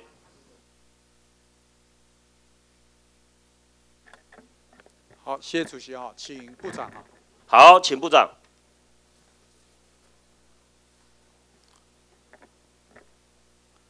赖员早安哈。部长早，部长辛苦哈。是啊，我我想先还是先请教了哈。上次总执行有提到了那个大林埔千村的问题哈。那当时院长有提到哈，这是当时部长也承诺啊，这是由经济部来主责了哈。然后会，那当时有提到六月二十一号会把相关的完成哈送给院长，不知道后来。部长完成了吗？我是公安局副局长，做一个补充说明好了。上次咨询完之后呢，在因为院里头也高度重视，所以在六月十四的时候呢，在国外会也召开一次比较深入的讨论会议。那刚刚提到是说，我们会把一些呃推动小组的架构。迁报到行政院去的部分呢，目前因为他会议后之后呢，这些架构我们还会各单位的意见，所以国外会的意见昨天给我们之后，我们汇总之后会由部里头签报到行政院，所以时间上现在目前还还在进行当中。那预定什么时候会完成？呃，因为这个大概近期我们就因为国外会的意见已经回来了嘛，哈，会诊完之后我们就签报给部部长，然后由部里头去签报。国外会的意见是什么？国外会的意见就是，诶，因为同仁大概。有初步回报是说，他觉得这个整个要去一起去看了哈。那其实因为国外会的陈天之陈主委也在呃院里，在在客在国外会开会的时候有参加，所以他会跟张景生张政委督督导，所以看起来那个问题其实是可以解决，但是。我不是很记得他，好像昨天同同仁才稍微有回报说要做一些调整，然后尤其费用的部分的估算啊，还有一些相关的配套等等，好像是大概是这些意见。我们会汇总在里头签，把这样的一个推动小组的架构由部里头签。经济部签报到行政院去，好，但目前六月十四的一个讨论的结果，那时候高雄市政府也有参参与讨论，好像曾润生曾局长，还有我们吴局长也都有参加。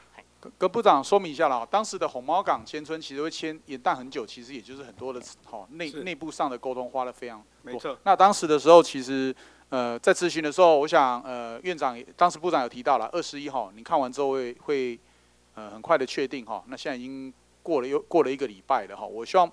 部长能够尽快把这些事情定案了哈，好，把部里的意见送到院里面。那另外我想请教一下，当时部长有说到了哈，你你这边愿意来做主要的负责的这个主责的单位，这个部分有没有改变？我们当时跟就跟赖委员报告，就我们当时提出我们会做主责单位来推动。那就像刚刚我们副局长提到的，那个部里的意见已经送到院里去了，所以现在是跨部会国发会这边在协调。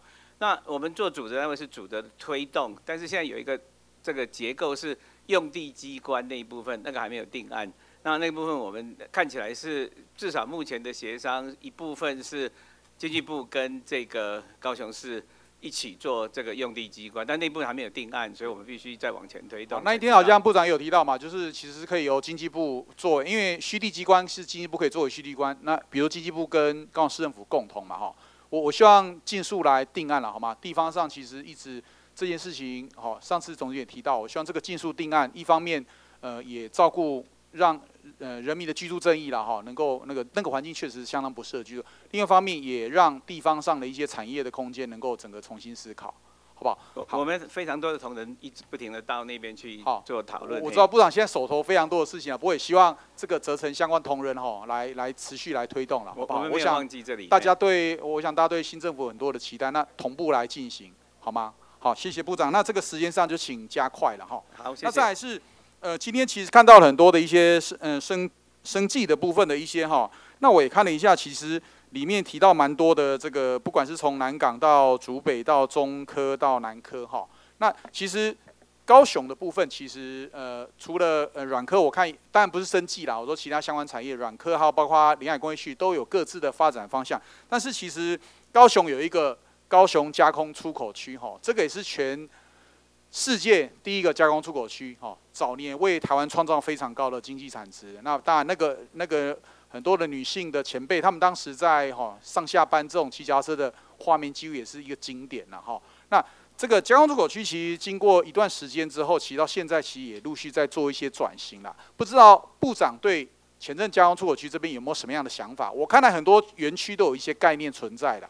不知道部长对前镇加工出口区有没有什么新的一些想法？我我们有在规划，但是没有单，我现在没有看到单一对于前镇加工出口区的这个规划案。但是我们在正在工业局在盘点整个全部工业加全部的工业区进一步怎么做，那它中间的经费配置跟这个所谓的这个公共建设应该怎么处理，那部分有在看，但是还没有看到单一的部分应该怎么更进一步的往前做这样子。好，因为呃前阵加工呃前阵的这个加工出口区这个地点其实是是非常好的一个地点，在港区一个非常好的地点了哈。那那但是因为我上任之后，我也去呃去那边也走走访了两次然后包括那当地其实有很多的一些问题哈，包括它的呃产业的其实定位，我觉得还是没有那么明确的哈。那包括它的厂房的很多老旧的问题哈，里面哦如果部长有机会也可以关心一下哈，就是它的很多的厂房是老旧的哈，甚至于还有很多的一些呃。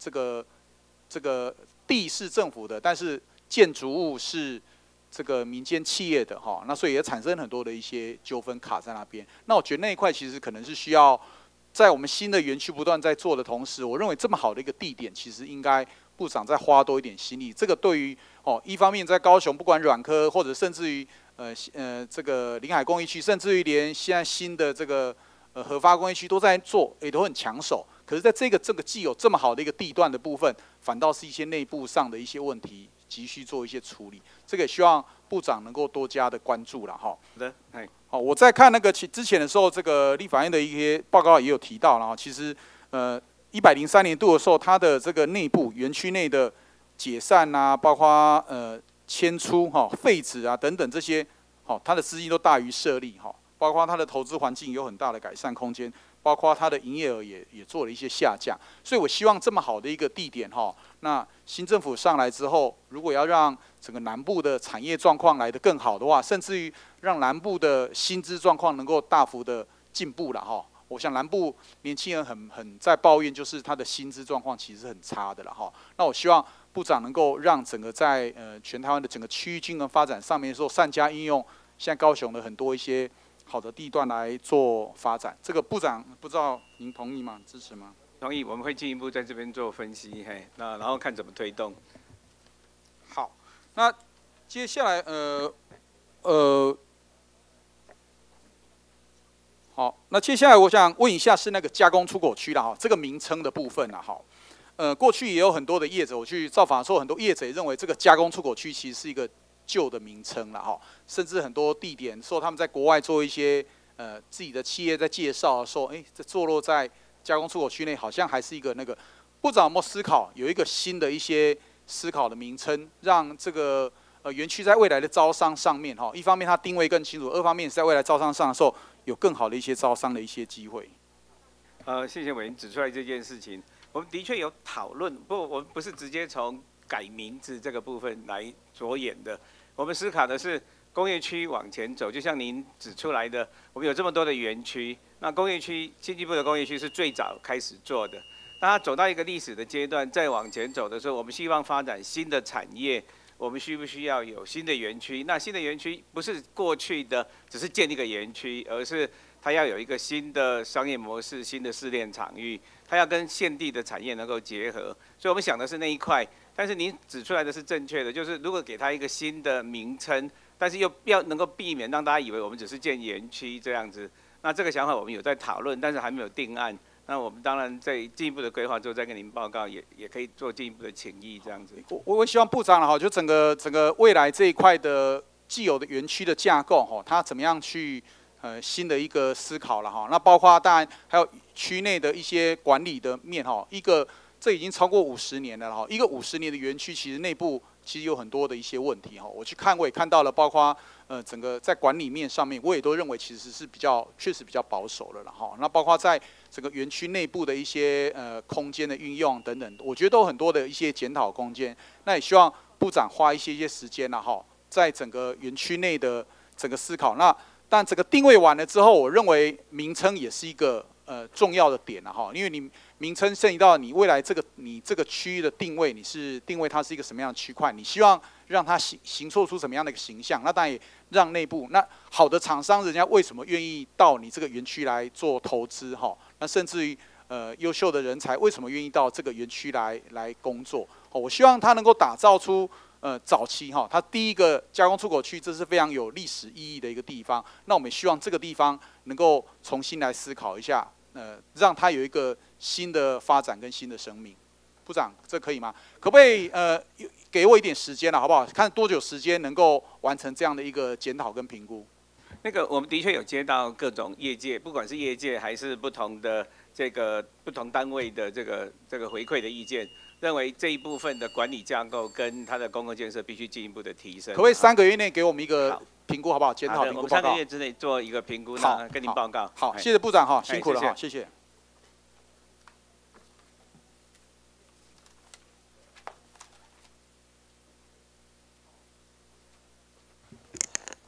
好，谢谢我们赖瑞龙赖委员。接下来我们请江启成委员，江启成，江启成委员不在。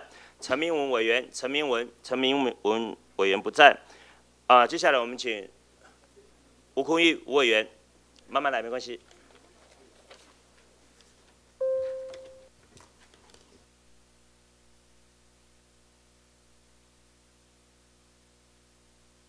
主席好，呃，那麻烦请。啊，请保电话哈，你你你。好，请部长。嘿，李部长，不好意思哈，辛苦了，但是还是要请教您一些问题哈。委员早安哈。嘿，嘿，部长好，我想生物产业当然，生物科技产业是啊，蔡总统很重要的这个经济政策嘛哈。那我想我们怎么去落实变得很重要。那哎，档案呢？我我们的档案。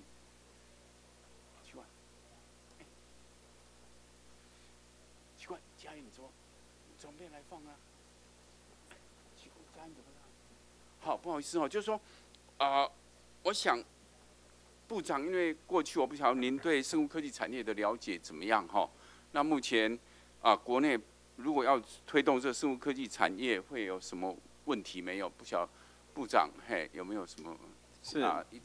不，您您对这方面的了解，您指的是这个广泛的问题，是我对生技，我到底了不了解什么是生技产业？就是我们为了要发展，目前的情况怎么样哈？那呃。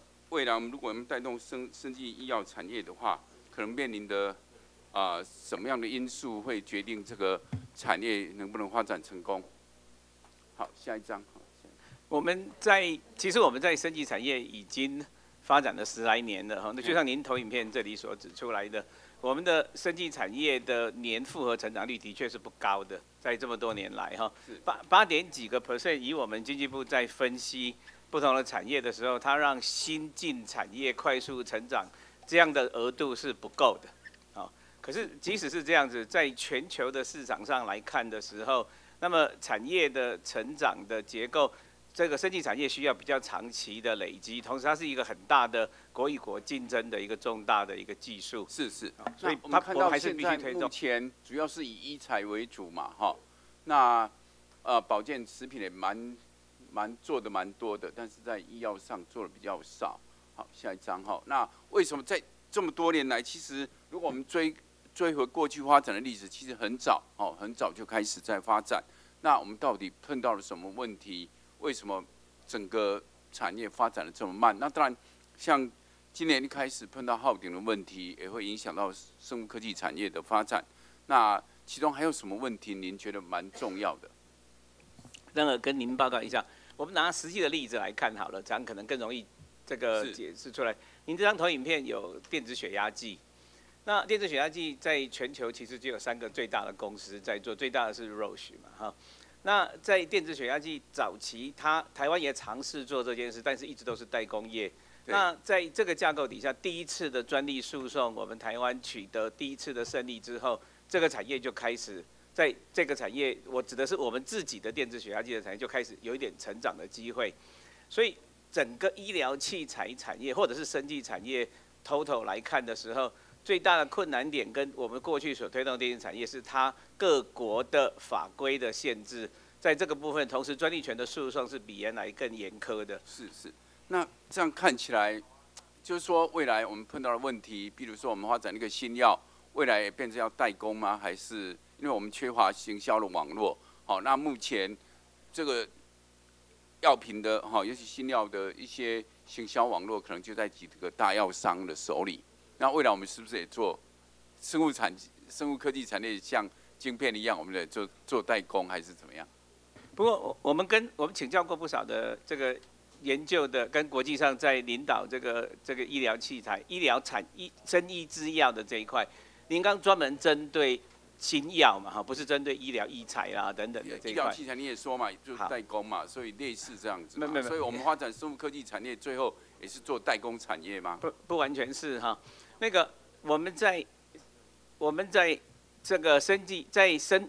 我我们讲从先从药开始谈好了，在药这个结构我们往前推动的时候呢，它本来在国际上它就是分工的，它是先期研发，然后一步一步的飞算飞数一直往下走嘛。那在什么药物的开发的过程啊？非常长，行销不一样。对，我知道啊，行销的过程其实跟研发在什么时候我知道我知道是完全一致的。所以我想嘿，下一张好了哈。那我们其实碰到很多问题嘛哈，很多的因素，人才、技术。资金策略、包括行销各方面嘛，智慧财产权法规整个资源的整合，我想在民进党的政策白皮书里面都有写到这一些嘛。那其中我们很简单，就就人才来讲就好了。我们其实也做过嘛，哈，我们需要高阶的人才，尤其经营管理相关的人才。好，那我们的需求事实上百分之九十是以硕士为需求的。好，这样，但是我们可以看到目前的教育系统。其实生物科技产业都以博士为主嘞，好，那这个跟我们的市场的需求看起来是跟我们是目前要发展的产业落差是很大的。那目前其实我们流浪博士很多，我们现在目前在学校，其实国内所有博士班的学生，我想主要都有生物科技产、生物生命科科学的相关的科系研究所是最多。我们现在流浪的博士或是博士后研究员是很多的。都是这个领域，那看起来人才很训练的人很多，那为什么我们还是缺很多人才？这个原因在哪里？那个跟我们产业的现行在国际上这个竞争的结构有关哈。那您刚提到的有举您这里的例子，比如说我们高阶经理人这一块，我们目前看到从国际上这个引进回来的人才。他需要实际上在市场上做竞争的这种经验，他不仅只是学历而已。那在这一块上面，我们需就像您刚讲的，我们需要有我们的企业一样有国际竞争的经验。那通路的那一部分是训练这一部分的人同时需要的。那在那个架构底下，我们举例来讲，像环瑞生医这些公司就是在尝试做这个。那我们在部里面也在支持这些公司，这样才可以让这些人有一个成长的路径。好，那。其实也有说我们缺乏法规制成改善的人才，那最好是跨领域的人才哈。那我们现在是技术导向，我们现在训练出来的不管是专业的所谓博士、硕士多好，其实都是生命科学相关的，但是其他的领域都很少。好，那其实当然，我想师务工作是很重要嘛，但是如果你有一些背景进到企业界去以后，其实这样的养成是比较快的。那问题就是说，我们有没有跨领域？就是说，像部长，你应该去跟跟行政院提出来，需要跨领域找，好，有经济部有企业借这个机会，但是我们的学术单位也要提供这样的人才啊。但台湾就是学术单位缺乏跨领域的训练嘛的机会嘛。好，目前要怎么去突破这个高墙？那个直接的人才培训，最最这个在学历这个部分是在教育部主管。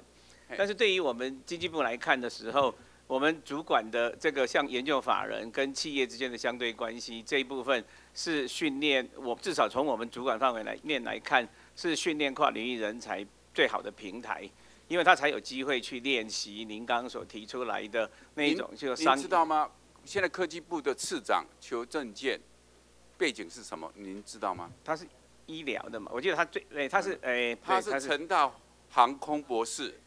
去前训院士那里做生物力学，做到现在做生物基础研究，它是一个跨领域。那我们台湾就缺乏这样的环境。我个人也是跨领域，我大学是化工，我到台硕去工作，我练医学工程硕士，再到美国去练独立。所以我要问一件事情：在很多的新药开发过程，其实疗效没有问题，但最后没办法上市，最重要的问题是什么？有各种原因然后一部分有一个很重要的原因，不是各种，当然有各种，但是一个很重要的原因是什么？在这里有三个答案呐。不，因为我我知道您不容易回答，所以我提供暗示。是您觉得哪一个比较对啦？通常在美国，如果以那个过去曾经是一啦，不过最近经常是二啦。哦，二经常是二。哎，对，就是安全性，药物的安全性。你知道他要要从事药物安全性的评估，要什么人来做？呃，他要统计，他没有统计以外，最基础是什么人？你可能没有听过，叫做毒理学的专业啦。哦，那个我知道，嘿，毒理学的，台湾有几个有毒几个学校有毒理学研究所？只有台湾大学有了，以前中山医学大学有，现在废掉了。你就知道说，连最基本的安全评估的人才都很少。台湾大学独立研究所，毒理学的教师有几个？他至少要七个专任教师才可以做一个研究所嘛，对不对？老师练毒理的有几个？您知道吗？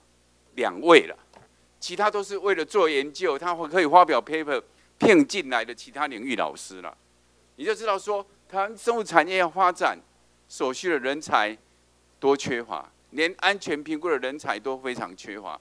他毒理学的研究生、毕业生都当生物科、生命科学的人去用了。那因为台湾独立没有出路嘛，那因为我们生物产业一直没有上来，那没没有需要做安全评估，所以这些人念了博士以后，也只好去做其他的工作。所以我们期待说，因为我是毒理学的博士，期待说，我们毒理学，我们生物科技产业能够发展，毒理学才有机会。所以美国有一个毒理学家认证，很多人在考，就会很好，待遇也非常好。但台湾这方面就是。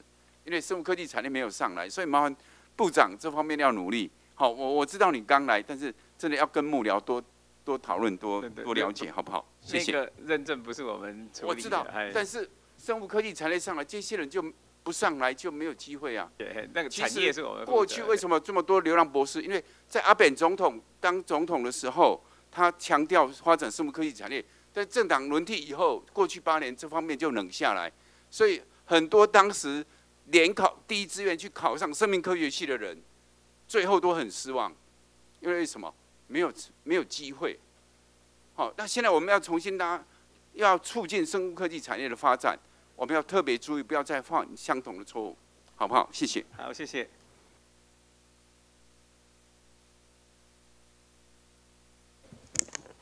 好，谢谢，谢谢吴坤玉吴委员。接下来我们请管碧林管委员。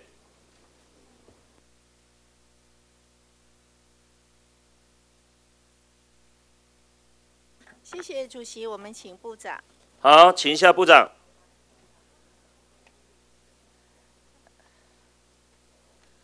欢迎早安。来，部长，呃，这个今天很多委员都提出了很多重要的询问，哈，那其中也有委员呃关心到这种跨部会到底谁来整合，哈，这个问题。那我也要考一考你，你们那个跨部会整合做的怎么样？那因为部长新来啦，比较不知道哈。那等一下看谁能够帮你忙哈。你们今天报告第二页哦，行政院是八十四年陆续核定的有关生技产业的相关的方案，你看看哈。第第二页哈，总共有几个？第一个，加强生物技术产业推动方案，看到没有啊？加强生物技术产业推动方案，这哪个部会在做的？科科技汇报，嘿。科技好，那台湾生技起飞钻石行动方案。科技汇报，嘿。科技汇报，科技汇报就跨部会啊，那落实在哪个部会啊？不知道吼，啊？部会都有啊，很多部会都有，好，好来，那生技产业起飞行动方案也是哈，好，生物经济产业发展方案，哈，好，这四个方案嘛，哈，其中这两个方案里面有一笔哈。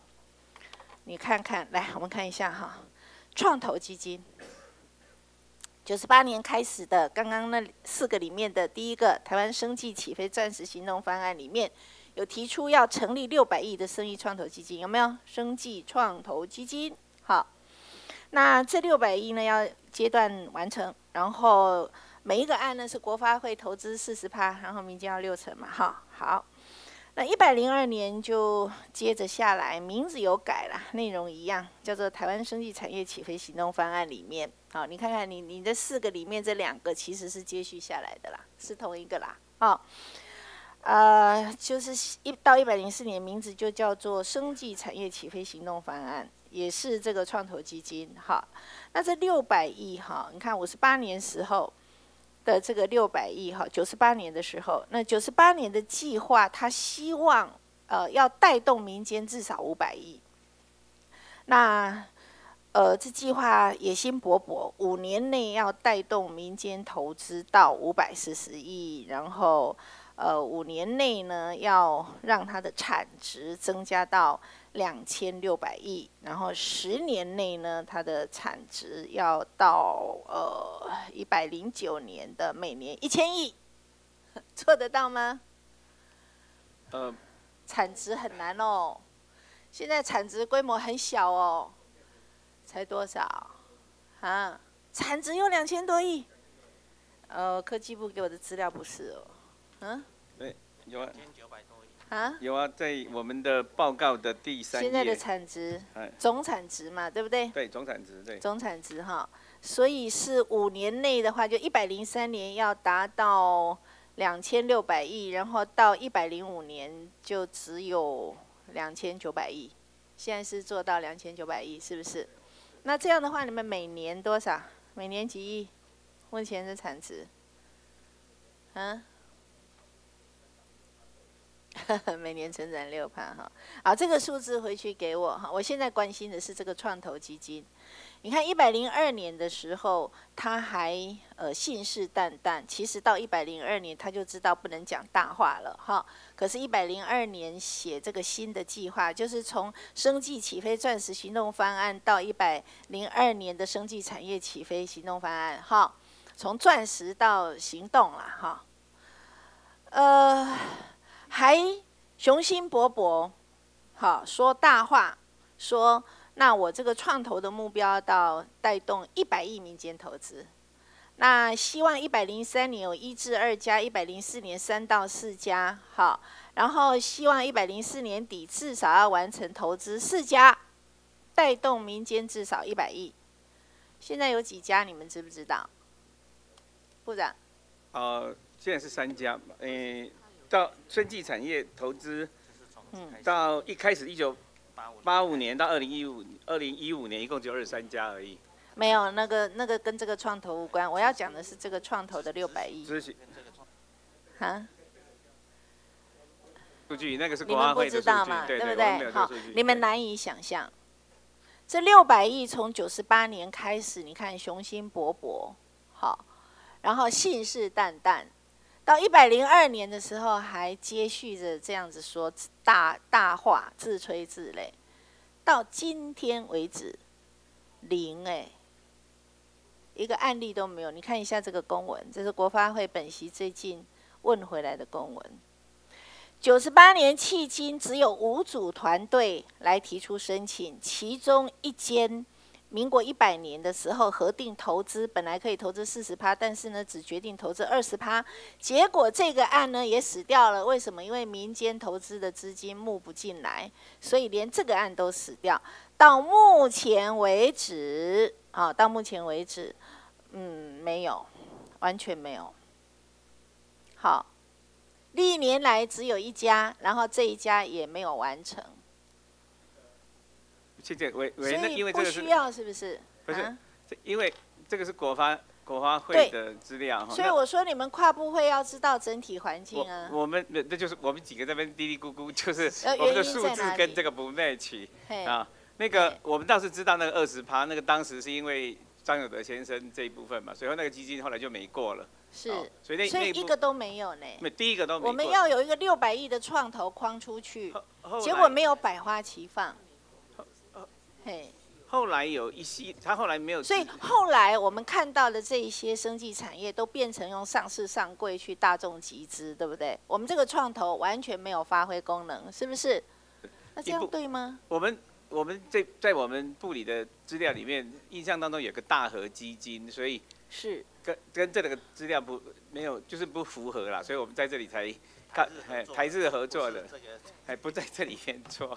没有哎，这个当然是国发会的创投基金在执行。因为什么？因为现在你们跨部会很重要。事实上，很多经济的方案还是应该要由经济部来执行。但是因为是国发基金，好像就放在国发会。国发会没有做生意的人才啊，他没有跟民间产业的链链锁啊，他没有那个连结啊。所以国发会这种创投基金，要么就是像文创那样子搞搞扯烂屋。全部赔钱，然后只赔那些不好的案，最后呢还闹得风风雨雨。好，要么就是像这样框了六百亿，结果一块钱都没花出去。所以你们跨部会的整合要做好。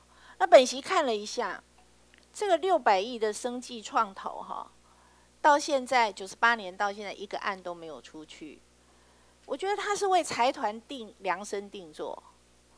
你看看。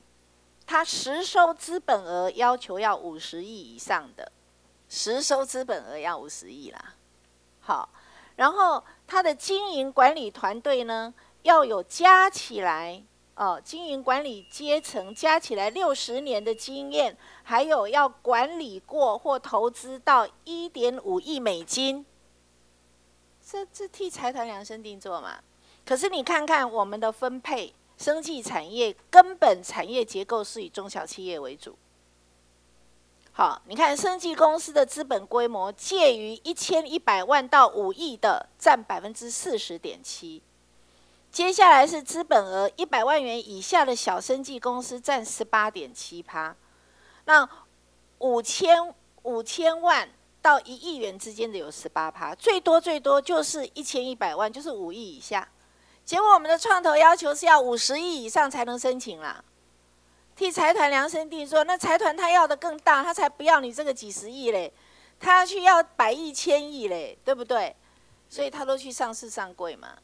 所以你们生技产业的发展，在跨部会的汇报当中，哈，你们没有整合起来做出好的计划。像这个政策计划就叫做什么？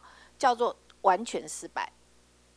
六百亿的创投一个案都没出去。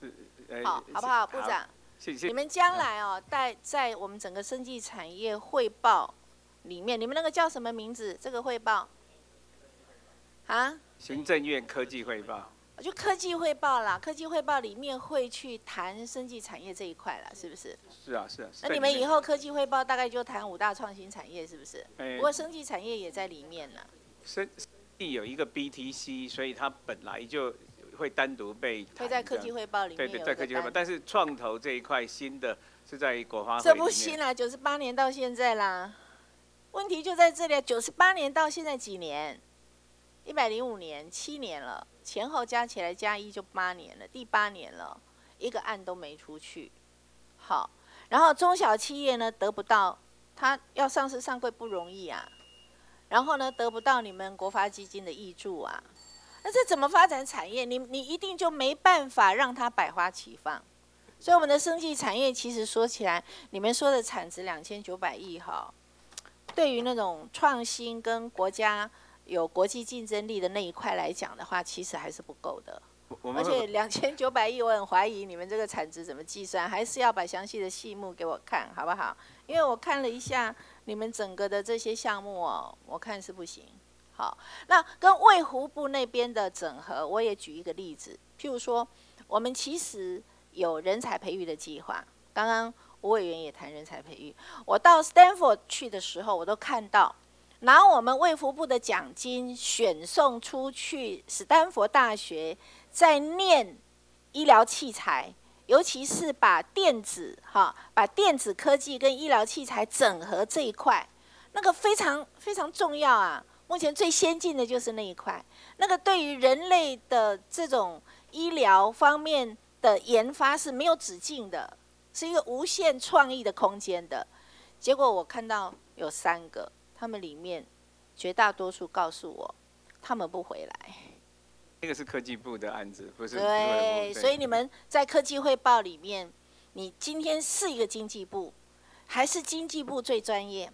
经济部还是产业发展的重镇，所以科技汇报当中这些跨部会的政策的总体的体检由你们来做好不好？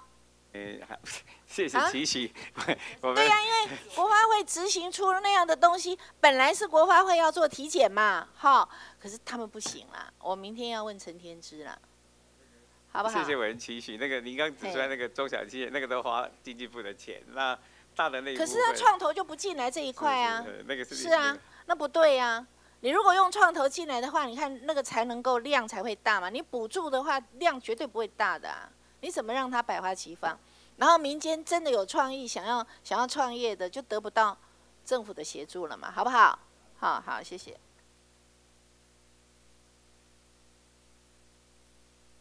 好，谢谢管碧林委员。接下来我们请钟嘉宾钟委员。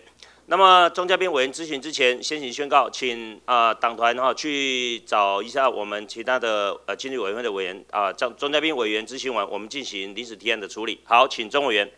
啊，主席、与会的先进委员、在场列席的政府机关主管官员、媒体记者女士、先生，还有工作伙伴，大家午安。那么有请李部长。好，请部长。部长应该这连续三四周来应该很适应了吧？哈，轻松一下。部长有没有看到一个很有名的广告？是一个灰小厝啊，消防人员问跟那个老神仙讲啊，为什么得会啊你不爱照？他说我卡麻起啊，别让他照。部长有没有看过这个故事？有没有看到这个广告？有有。你知道他卖什么吗？不，不是卖保险呐，他在保持血路畅通的药啦。哦，啊，有印象了哈。对对，有有有有。哎，大概再过几年，我们都要吃这种药这种类似的保养品了啦。是部长，你有在吃类似的药或者是健康食品吗？没有。就是保养关节啦，保持血路畅通。没有哎那你是立直天生难志气。我想在座很多人可能年纪轻轻在开始吃吃，不好意思讲而已啦。那么您刚刚提到今天的我们的重点呢是生物医学科技，对不对？你认为在台湾的内需市场中，美油啊、跟美健康食品呢，哪一个市场啊，它的特性是什么？袂药啊哈，你台伫台湾的产业内底卖健康食品的比卖药还较济啊。好，就消费市场来说啦，不要讲全球市场来说，在局部的 lo local 的我们的地方的消费市场来说，消费者会主动去买的，因为药品有限制嘛，药品都是第三者服务的时候提供，你去看医生，医生给你开什么药，你大概不会自己主张吃什么药。但是健康食品呢，是一个直接的消费市场，所以它的产值也不可忽视啦，哈。那么目前我看到今天我们这里报告的是生技医学产业，那我是想要跟部长说啊，这个生技医学产业哈，你认为台湾在世界的几大药厂的当中，我们要异军突起啊，要突破包围，要去拿到一些新的药打入世界市场的机会大不大？哎，不是最大，但是有机会啦。有机会啦有机会，嘿。所以我看到你们的报告当中说，我们的呃经济部的技术处透过这个科专计划，也有把重点放在这里。但是我要讲的呢，其实是另外一个事情。我要讲的这个就是说，有关于我们全台湾的产业分布类型不同，所以呢，有关这个生技医疗产业你要发展的重点方向，可能也要因着各种不同的区域而有所调整。我举例来讲，有一种食品叫做红梨，你有没有听过？红梨有听过，长得很像原住民吃的小米啊小米。红梨哈。哎，因为我这个图呢，助理没有把它带过来剖给你看。那么我要说的是说，以目前全台湾的工业产值来讲啊，它我们高达呢二十九兆，有将近四分之一是在南部。但是南部的工业呢，它有一个很大的特色，我们农林渔牧的产值呢也是相当高。全台湾八十万的农民，我们南台湾占了二十三万，啊，占了三成。农林渔牧的产值呢五千亿，当然不能跟工业的产值相比，但是南台湾呢也将近快一半。我们屏东啊，更是在农林渔牧的产值连续两年占五百七十啊七百三十四亿，才有五点六万的农民创出这样的产值。其实这样的产值如果要提高，一个很重要因素，农产品可以对应来的生物科技就变得非常关键。如果说我们把生物医疗都放在研发一些制药类上，那我们要问的是说，这些药品的来源素材，如果是来自于我们中南部或农林渔牧可以生产出来的原料，那这当然不只是带动我们的生物科技的发展，也会带动我们农林渔牧的产值部长，你同不同意？那个跟委员报告，我们完全同意。但那我们第一在这里面所提到，那个属在我们这边属于动植物药这一块，但是您刚所提到的农林渔牧那一块，按照现在的部位分工，那是属于农委会的监管范围。也就是说从农林渔牧的原料来做成生技医疗的，这个是农委会在管。OK，那健康食品呢？让食品的认证是卫福部在管。卫福部，对，但是它的一个支持研发，就我刚刚讲的啊，市面上啊买健康食品的多过买药的啊、好了，我想呢，我就后面的最后一点时间，我就针对哈，我看了一下你们当中，我给部长一个提示，在你们所推动的未来策策略当中呢，你们包括了制药产业、医疗器材产业、健康福祉产业、生技新药产业呢，你们的发展条例你们要去推动，是不是这样子？那在这个类别当中，你们谈到的制药，谈到了医疗器材，谈到了健康福祉产业，我真的要好好问一下部长，你了解的健康福祉产业是什么吗？几年前谈的是智慧医疗，现在不是。那现在谈的是什么 它包含这个呃，我们用什么字？我们用的叫健康的服务，意思就是呃，我要好了，我直接跟你讲的啊，因为这个领域你真的比较陌生啊。其实还好现在我们国家在推长期照顾，长期照顾有几个问题。第一个，照顾的人力不够，在先进国家跟我们台湾一样，面临到高龄化跟新生人口稀少的问题，劳动力很昂贵，他们的所谓的健康福祉产业在长照的这一块发展的，包括您说的智慧照顾。那这个智慧照顾这一块呢，应该是在你们这个范畴内，对不对？好，那么另外一个介乎医疗跟照顾之间的就是辅具。辅具的开发，其实台湾有非常好的基础。我认识在南部很多发明大王，本身是身心障碍者，他从自己的需求去开发辅具，但是后面呢缺乏一些积极的一些辅导。也就是说，因为在卫福部那边，我们辅具没有公共流通化，那是后面制度化的设计。但从辅具的研发到辅具的上市，这个德国做得非常好。那是不是可以请部长去了解一下？因为台湾未来在发展长期照顾当中，遇到人口劳动力的不足，我们照顾人的不足，我们一定要强化对辅具的应用。今天如果你家里有一个老人家，他有失能，但是你又没有把他送去安养机构安养，你知道吗？我们目前很多的疏离家庭是用申请外籍监护工，一个人一对一的服务，这在其他欧洲国家是不可想象的。如果说今天我们有比较好的辅具，包括他所需要的床，他起身后需要行动的一些辅具，都能够有本土的产业来研发。其实不止未来台湾用得到，未来台湾邻近的国家在进入老龄化的过程当中用得到。部长，你有没有考量到这个健康福祉产业辅具研发的这一块？那个跟委员报告哈，那个刚刚在您提到那个哈，您刚说提到我们在这一块怎么看哈，我刚一下子想不出来那个字眼，是我们过去一用的是，我们想法上是说要活得好、活得长、活得有尊严。对。那在那个架构底下，我们往前走的时候，辅具是里面的重要技术。那不管是我们自己的同仁所做的分析，我们的智库，或者是全球趋势的看法上面来说，那个一个人留在家里越长的时间，他的整体的这个医疗费用是越低的。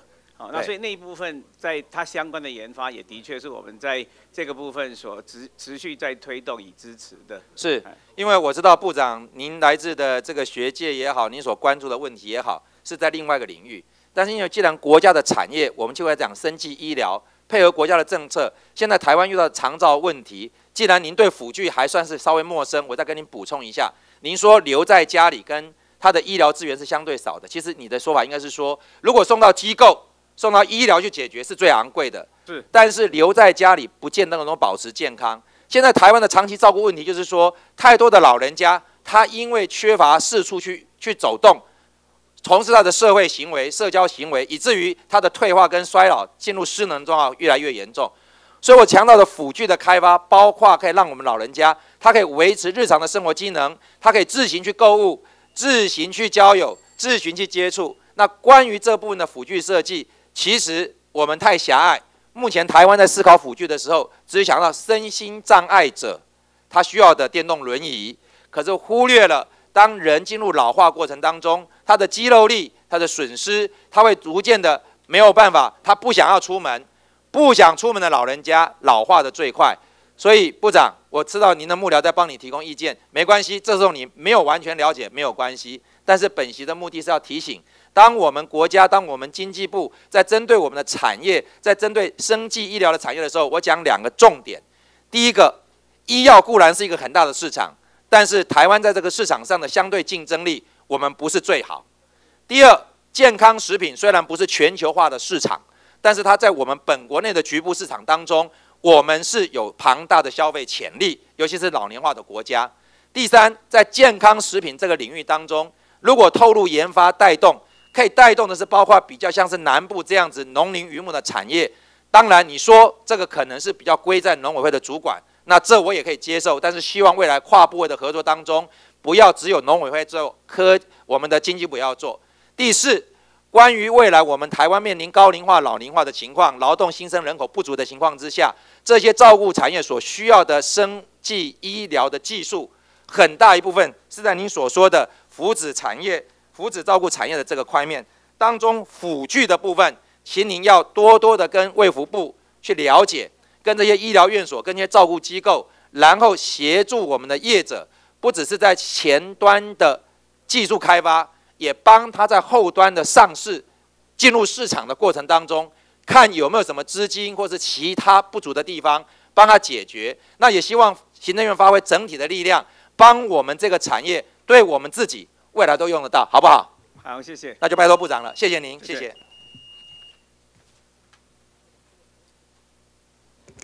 好，谢谢我们钟嘉宾委员。接下来我们先请我们高志鹏委员。你公了在。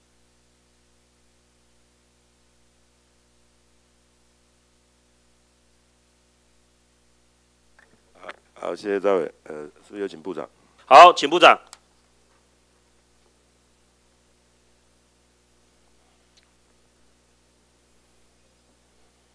早安，好。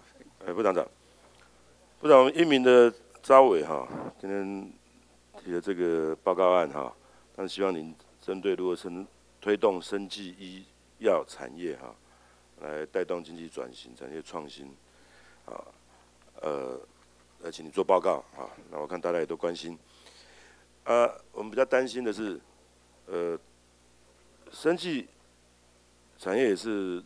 在那种主打的五大产业之一了哈，那也是应该未来发展的重点，好啊，但是，呃，我们都会想到说，之前才刚卸任的国发会主委林祖嘉讲的这段话哈，对，还漏了哈，因为生技是非常花花钱的产业，如果政府要投入，在有限的经费下，难免会发生排挤效果，然后生技产业虽然有成功的机会，但是能创造的工作不多。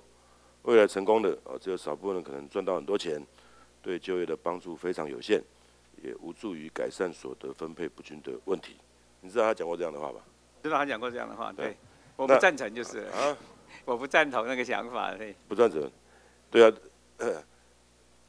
当然他已经卸任了哈，当然也也点出一些问题哈。那这些问题其实，呃，当然就是资金要啊，这个风险高，资金要很高哈。啊，其实生技产业，政政府也以前也不是说不培植啊，也算是也算是重点产业之一哈。但是可能因为内需的市场小，啊，那资源不如国际大厂的丰沛哈，所以一直没办法发展哈。那可不可以请部长预估一下，下一年度我们会投入大概多少预算，或者是有有没有什么的计划，来作为生技产业的一个发展？相关在跟委报，我们经济部增加多少？就是经济部这块，不赞成啊？不赞成嘛？那表，然后你你也同意说，啊，这是蔡总统的五大产业，那当然要要要要落实。今年预算当然不是你编，没办法。那明年有没有预估大概多少会增加多少哈？啊，来来来做这样的一个。在在经在经济部这一部分，直接进入部内预算是二十亿，但是科技汇报这边还进一步在整合这个相关的这个科技预算，所以我还没有那边的数字。部里面直接涨，直接有的就是二十亿，那那还有其他科科专科技的一些专案，嗯，对，这部分是技术出身那那会不会产会会不会产生效那个排挤效应？你觉得？二十亿在经济部这边不会产生排挤效应。一直一直经济部后压的丢你在南南山呢？不是因为每一个产业都需要有研究，不是不会，不是说经济部后压那样。嗯，那重点是，有时候他他当然不是。不是全部要靠政府来的，如果你有其他政策可以吸引哈，来引导民间的资金的一个投入啦，对不对？这个应该才是重点嘛哈。而且，它生技业哈，我看不只是大笔的研发的经费哈，比较还还需要什么？还需要很多各方各方面的人才的哈，生命科学、医学、工程、化学、生物、财经、法律、气管，都要全方面的人才了哈。啊，这个我们可能各方面人才有，但是整合上面好像是一直以来最欠缺的哈。这些呢，啊，产业链跟生态系统的这些衔接不够紧密哈，也阻碍了整体的发展哈。啊，比如说药品啊、医材啦哈，这些这些都都注重注册。可是业者常常找不到是生计相关的品管跟制裁权的人才，所以这部分是不是经济部也也也也也也应该要负起责任的去做这个人才的整合、人的训练，然后整个的整合、整个的呃那个在经济部里面推动的，像我们这个法规的部分，在制裁权等等，的确有在训练。那我们在整体的这个法人的研究案里面，有这样子的相关研究，在做跨领域的人才培育这样子。啊，另外啊，我我其实会觉得，在旧教育部长是台湾除了这生技业除了这个人才产业生态的问题哈，还有是不是也有心态思维的问题？就是说，其实不是只有制造业有这种代工的思维，生技业很多在台湾也是，那可能规模小，啊，可能就想说啊，把啊就就就帮人家代工就好了，好那。就求了比较稳健的发展，然后就跟着国外的脚步去做。那这个会不会是这个这个其实会不会是一个一一一个根根本的问题啊？就是说大家大家就想说啊，为了得跟着做啊，好那啊也比较看不出差错，也少了这些研发的经费啊，还是说变得比比较不敢去挑战这些比较高难度哈？因为很多其实都要现在都要专利的，专利要看原创性跟它的关键性的啊。那没有没有这些专利，其实这产业你大概就只能帮忙代工而已了，啊。产业的形态在生技业里面一样，当然它有全面性的形态，有一部分的产业的确有您提到的这部分，但是生技业从第一天开始往前推的时候，那么就必须要同时也有上游的研发，然后再到逐渐的商业化，所以它的产业供应链。即使是台湾本国内市场不这么大，那个整体的供应链还是要存在的，因为它的资金市场的释出不见得要把全部的生的以制药来说，不必把它全部做完才做 exit，国际上也不是这样的，所以它也是一段一段的处理的。那那个东西跟代工心态是没有关系的。啊，啊，所以按经济部那要怎么样来引导，说大家要尽量往这些有挑战性跟附加价值高的这些。新药啦，高阶医材的发展，这个这个经济部有没有什么什么什么什么专案呐？有什么政策？还是希望希望大家可以朝这个方向？真正最大量的新药研发，不是在经济部这一块处理，是在卫福部跟中央研究院做。但是在经济部所做的这一部分新药的研发，同时是把学界的研究再进一步的衍生到法人的研究，再往前推动这一块，甚至跟医疗院所的结合。那块是在经济部里面做的，那它在过程当中有几个全球新的技术或趋势，譬如说像医材跟药物整体整合这样的研发，其实就是经济部在推动案子。那的确也有不少的成功案例是从这个角度出发所产生的。那个部长，这个上礼拜总咨询哈，时间不够，也没有让你回答了哈。我的概念就是电业自由化是能源的一个转型正义了哈。那我我不知道部长有没有记记得我我讲的，我举的是俄罗斯总理普京，就是利用国家能源啊资源的垄断，所以啊，当然成就了他看似民主，其实是独裁控制的俄罗斯这样，从总统做完做总理，总理做回来再做总统，好的这个案例，好，那理论上从台台电现在也已经垄断台湾的电力厂六十九年了啊，比戒严的时间还长，好，所以。部长是不是同意啊？我们应该积极完成这个电业自由化，好，然后来打破台电的垄断，推动能源的转型正义哈。这个部分，我我就我知道，呃，七月经济部大概就会就会把草拟完的呃修正案送到行政院的哈。那就台电至少一部分要分割哈的这个时程哈，部里面有没有什么明比较明确的规划一个时间？那个在电业法的修正，能源局提出来的草案，目前的确在跟台电高层，也跟我们的业界在做征询。那明天也会请教这个台电的工会等等。那在过程当中，我们现在是现在的思考跟初步的规划是设计有里程碑。当我们达到一定的里程碑，就进一步的再往前做电业的自由化。所以它是一步一步的往前走的。有要设计几个里程碑，就是对。在设计有有几个清楚的里程碑，就是我们什么时候可以真正做到完整的长网分离，然后进一步的让这个长网分离多久？长网长网分离，你知道大概预计多多久可以做到？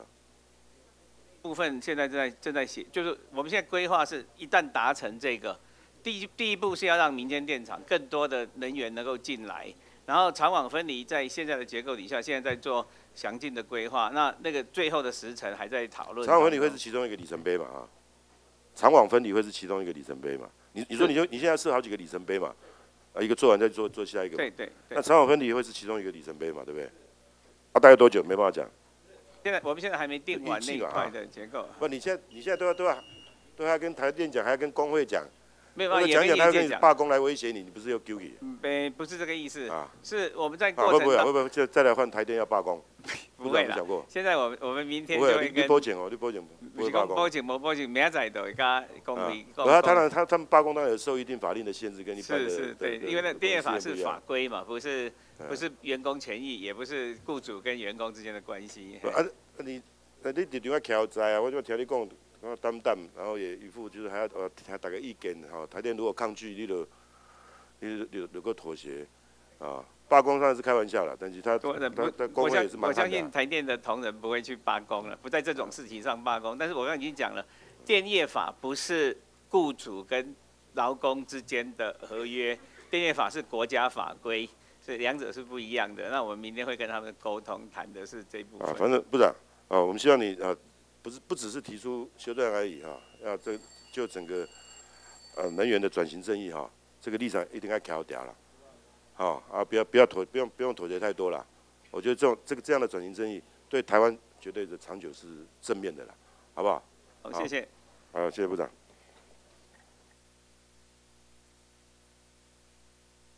好，谢谢我们高志鹏委员。现在我们进行临时提案的处理。啊，在念宣读提案的内容的时候，也请我们行政单位跟我们提案的委员来做沟通处理。好，我们请议事人员宣读。临时提案第一案，为台湾本土自产中药不多药用及使用之中药，都仰赖中国输入栏、中国中药检验管制、输出入等管制宽松，时常有农药重金属残留影响中药药品之食用安全。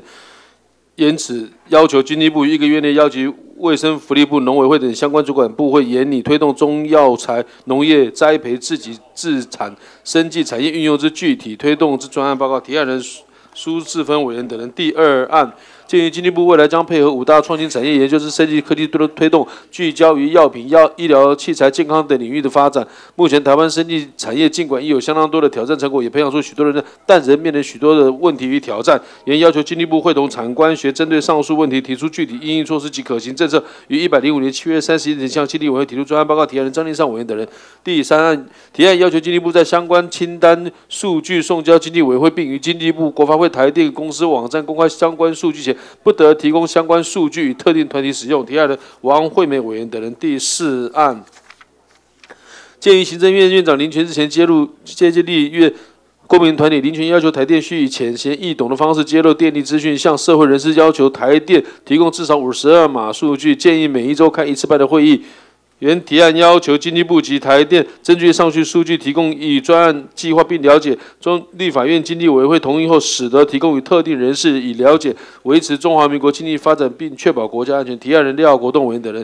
第五案为因应英国脱欧后恐造成我国对英国欧盟的经贸影响，原提案要求经济部一个月内提出应应以及未来规划相关报告送交经济委员会。提案人王惠美委员等人。第六案有鉴于国家实验研究室政策研究与资讯中心统计，我国近年来培养大学毕业以上之升级人才已达六千八百七十六人。若以学术跟产业能够互通有无，让研究更能够符合实际，此对此作出经济专案报告送交经济委员会。提案的王惠美等人。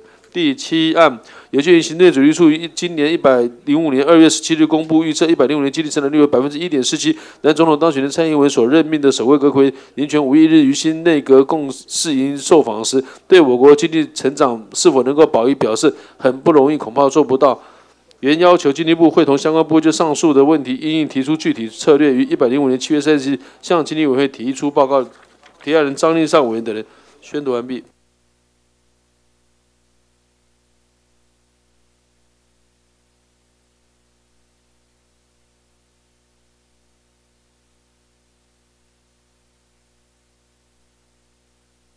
好，谢谢我们议事人员。我们现在进行处理。呃，历史提案第一案，各位委员有没有有没有意见？啊，行政单位没意见。好，我们通过。呃，第二案有没有意见？好，行政单位请说明。报告主席还有各位委员哈，那因为主要是呃这个提案内容，当然我们都照办，但是原要求经济部会同长官学院的部分，我们是可以建立，就是因为这个是跨部会还有跨单位的，所以原要求经济部与科技汇报办公室。顿号科技部、顿号教育部会同产官学院研提上述具体解决措施及可行对策，这样我们在单位的一个协调上面的话，我们来开会上会比较完整。因为总体当然是在科技汇报办公室了，但是因为他们没来，所以我们由部主动来找这几个单位来做报告。以上，谢谢。好，就是要阵列文字修正嘛，是不是？那先啊，先暂时，哦，可以哈。好，各位委员，那没意见，我们就照文字修正通过，请行政人员把文字修正内容送到议事人员这边。好。接下来我们处理第三案，有意见？好，第三案另有文呃，另与委员有协商，呃，有修修正文字，我们请议事人员宣读。好，请议事人员宣读文字修正第三案。报告委员，第三案部分是原提案要求经济部在相关清单数据送交经济委员会，并于经济部国发会台电公司网站公开相关数据前，不得提供相关数据与特定团体使用。宣读完毕。好，谢谢。我们就照文字，这这个刚才就是行政单位跟那个提案委员啊修正的。好，那第三案就照文字修正通过。我们第四案有意见，好，无意见。那我们来第四案，管委员有意见吗？啊，好，请管委员说明。个我第四案本来是有一个。建议，因为他现在的意思是说，如果没有经过我们经济委员会同意，就不得提供嘛。好，那我本来是说，其中涉及各资、涉及科技与国安之机密资料，不得提供啦。然后上述专案计划及提供内容，好，应定应并送立法院经济委员会存查了。好，本来是这样，啊，你们行政部门都没有意见哈。你们行政部门没有意见哈？第三、第三、第三案跟第四案，你们如果都没有意见，那意思就是那个李部长打脸林院长了，因为林院长已经答应要提供，而你们现在都说没意见，所以就不提供哦。现在是不能提供哦。我我我问你们是你们的你们的立场是什么？哈？好，呃，请台电公司来，请部长还是单位来相关单位说明。好，来，呃，我是台电公司的企划处处长啊，也谢谢委员的指教。刚刚委员所提到的哈，那其实部长在指示说，其实在整个的开放的资料里面，还是要去检视有没有涉及到法令的要求，有没有一些相关的规定，是否可以给的。所以我们其实并没有针对五十二项全部都给，所以我们其实台电公司内部也正在做相关的分析跟研判。啊，以上报告，谢谢。刚刚委员委委员提的不是这件事，不是那一条，是这个必须要送经济委员会同意这件事。这是程序，来来来，现在第三案王委员后来的修正是，没有对全民开放前都不能提供给他们了。好，那你如果已经在网站上全部公布了才提供给他们，这个跟林院长当时和他们协商的程序一不一样？好，这个是 这个是我提醒你们啦，哈。那第四案的话是没有经经济委员会同意前不得提供啦，啊，所以你们看着办啦。你们都说没意见，我就觉得有点诧异啦。我是提醒你们哈，了解一下，你们觉得要不要修，应该怎么修？让我们再谈一下好不好？因为那条的确在如果到这里来的时候，会使得整个行政的这个结构会出问题。好，那我们第四案先保留。那请行政单位跟提案委员还有其他啊，我们经济委员会委员来做沟通。好，第四案我们先保留。好，我们先进行第五案。那第五案各位委员有意见？行政单位有意见没有？好，第五案没意见，我们就照案通过。那第六案，好，第六案来，请行政单位说明。主席各位委员哈，这个跟第二案一样哈，就是可不可以在第倒数第三行，呃，原提案要求经济部与科技汇报办公室顿号科技部、教育部于一个月内检讨现行的合作的问题，然后让能够送交委员会。我想这样比较完整。以上报告。好，那就照我们行政院所提文字修正，我们做文字修正通过。好，我们进行第七案。好，第七案的部分啊。经提案委员的同意，我们就加在最后第三行，原要求国发会呃加一个国发会，就让它更完备。好，我想增列一个单位部门啊，各位委员没意见？好，没意见，我们就照文字修正来通过。那现在我们进行第四啊，刚才是是第四案嘛，保留。好，那第四案在寻求的呃。跟委员沟通的时候，我们是不是因为我们曾明忠委员在现场，我们就先请曾明忠委员来做呃这个会议咨询。好，请曾委员。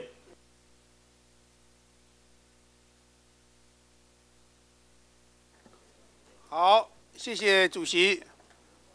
麻烦部长。好，请部长。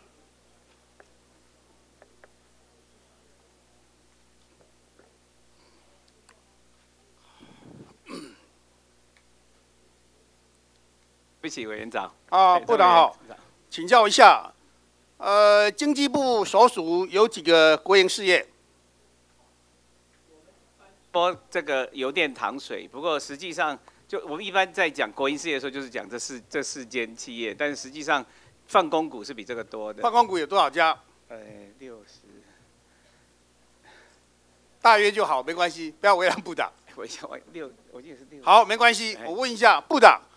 您所属，因为其实行政院所属的部分里边呢，交通部、经济部跟财政部是换公股的大户了，主要的部会。那看这几天呢，还有过去几天，交通部所属的换公股，未来还可能罢工。那部长，你所管的经济部所属的换公股也好，或是百分之百的国营事业也好，未来的短期内会不会跟着罢工？我们我们现在在跟所有的，就当然没有到全部了哈。我们跟一部分的最重要的，像台电啊等等，有在做沟通。但是沟通不是为了罢工这件事。当然当然，平常就要做。对，平常就要做。我们根本不是为了罢工这件事在跟他们见面。这个在经济部在单站在主管机关的单的身份上面，本来就跟工会一直保持畅通的这个沟通管道的。是这个非常好，就是主管机关平常就要跟啊您所属事业的啊工会或者经理人要保持非常好的畅通。我相信经济部过去有非常好的传统，我也希望部长继续保持，一定真的不要等，不要等员工罢工。其实我觉得交通部这一次真的太慢了，你不要等他罢工，罢工之前呢就要尽快。哦，就要介入处理，那才不会造成双输或者三输。另外跟讨教了，呃，这你依照您的报告了，呃，一百零四年度我国生技医药产业的营业额是两千九百八十六亿营业额，那创造的就业机会是多少？其实哦，生技跟制药，一万人，有这么多。七万人。呃，制药我不晓得，生计啊，其实呃，创造的就业机会非常有限。现在真的有七万人，因为它大部分是中小企业嘛，所以 OK 好。呃，可能是制药，生计不会是中小企业。另外跟你讨教问题，呃，生计新药的发展条例，近期内要不要做修正？希望，因为我们在跟这个我们的这个过去几年在监管这一部分的企业在往前做研发的时候，我们在报告里面提出来说，希望在于认定第三类，就所谓的生计的这个高风险的这个公司里面，指的是高风险医疗器材的奖励范围，希望能够稍微放宽一下这个一小罐的部分，在这第二期、第二等级的医疗器材要临床试验的时候，内部希望能够稍微放宽这样。希望部长尽快检讨相关条例，尽快送到立法院来。尤其浩鼎案啊之后了，有一些像利益的回避，比如说他假设经过研发机构核准。就可以持有，可以排除公教人员不可以持股百分之十的部分。我觉得他现在只要经过，只要经过呃研发机构的首长通过就行。那你假设首长、副首长去，我觉得像这些或者是有一些利弊回避回避的部分呢，我觉得要组一个有一个小组或者委员会来讨论、来审查会比较合适的。所以像九条、十一条等等呢，我希望啊经济部。能够让他过去的只有经过首长核准的部分就可以兼职，啊等等，我相信这部分呢，希望经济部在检讨的时候会把它纳进去。因为这一次的浩鼎案发生这么一个个案，其实也不是我们乐见。希望既然浩鼎案台湾地区损失了一个非常优秀的中央院长，我希望经济部也能够汲取这个教训。把该补起来的法规把它补起来，好不好？有一些有一些该利益回避的，让组成小组来审查的。我希望部长能够啊，不要让翁院长的过去的案例啊，能够汲取这个教训，把该有法规把它补起来。好，谢谢那个委那报跟委员报告哈，第九条跟第十条我们去检视。那那个，因为它是新创企业，对，所以这个浩鼎不适合这个法规，它本来就不在里面。对。那目前为止，整个全国在经济部主管这个业务法律范围内，只有一家公司是这个成大的这个老师的一个研究案，所以这一部分我们可以去检视，因为只有一个案例而已。没错，当然我也知道浩鼎不是新创事业，但是从这个事情，我相信中研院还有更投资更多的新创事业，所以我觉得应该汲取这个教训。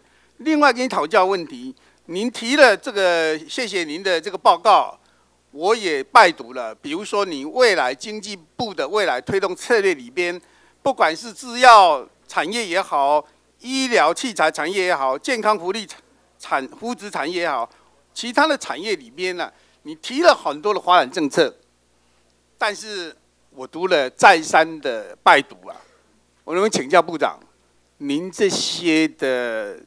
政策啊，基本上都形容词了，有没有更具体的推动策略？我也知道你手上可能没有很多的工具，但是这些哦，基本上是形容词哎。跟委报告，它不完全是形容词啦哈，因为我们其实有配套的科技专案跟着这一部分的推动是一起在执行的。好，那我们当时在写这份报告的时候，是觉得如果我们把科技专案的所有的详细的这个结构都写在这里。会这个让这里有点混淆，可是实际上我们经济部在推动这些策略的时候，我们相关的科技专案其实是我们最重要的工具之一。另外一个就是刚刚谈的生计推动条例，这几个是我们的工具。那我们在推动的结构底下，研究法人跟企业的整合，还有进一步的跟学界的配合，其实才是我们在跨部会时候经济部所演的重要的角色。这样子。OK。对，那你至少要把它写出来，不然你因为你整个报告里面呢，经济部未来推动策略非常重要，然后一项一项把它列出来。你只有我拜读了半天了，我发现都是形容词。那您讲我也我也赞成，你有一些科技的专案，有一些手段啊，有一些辅导的措施等等，因为这样子你啊把它列举出来，人家才知道。好，最后跟你讨教。你有这个推动策略，有目标，那跟你讨教未来，未来你既然一百零四年的营业额是两千九百八十六亿，那两到三年内，你们有没有个有没有个目标？比如说你的营业额要达到多少？你的创造就业机会，你要创创造多少就业机会？有没有？比如说三年或者五年，你总要一个目标吧？你今天。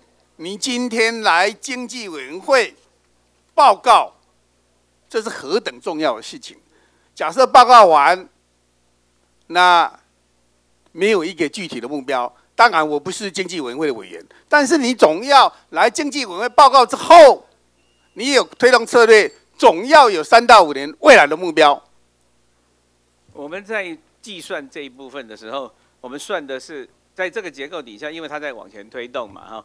那刚刚您问到的推动策略跟推动做法，那个都详列出来了。对。那往外做的时候，比较远的目标是二零二五年的这个一兆的产值，哈，那个是指我们我们主管的这一部分。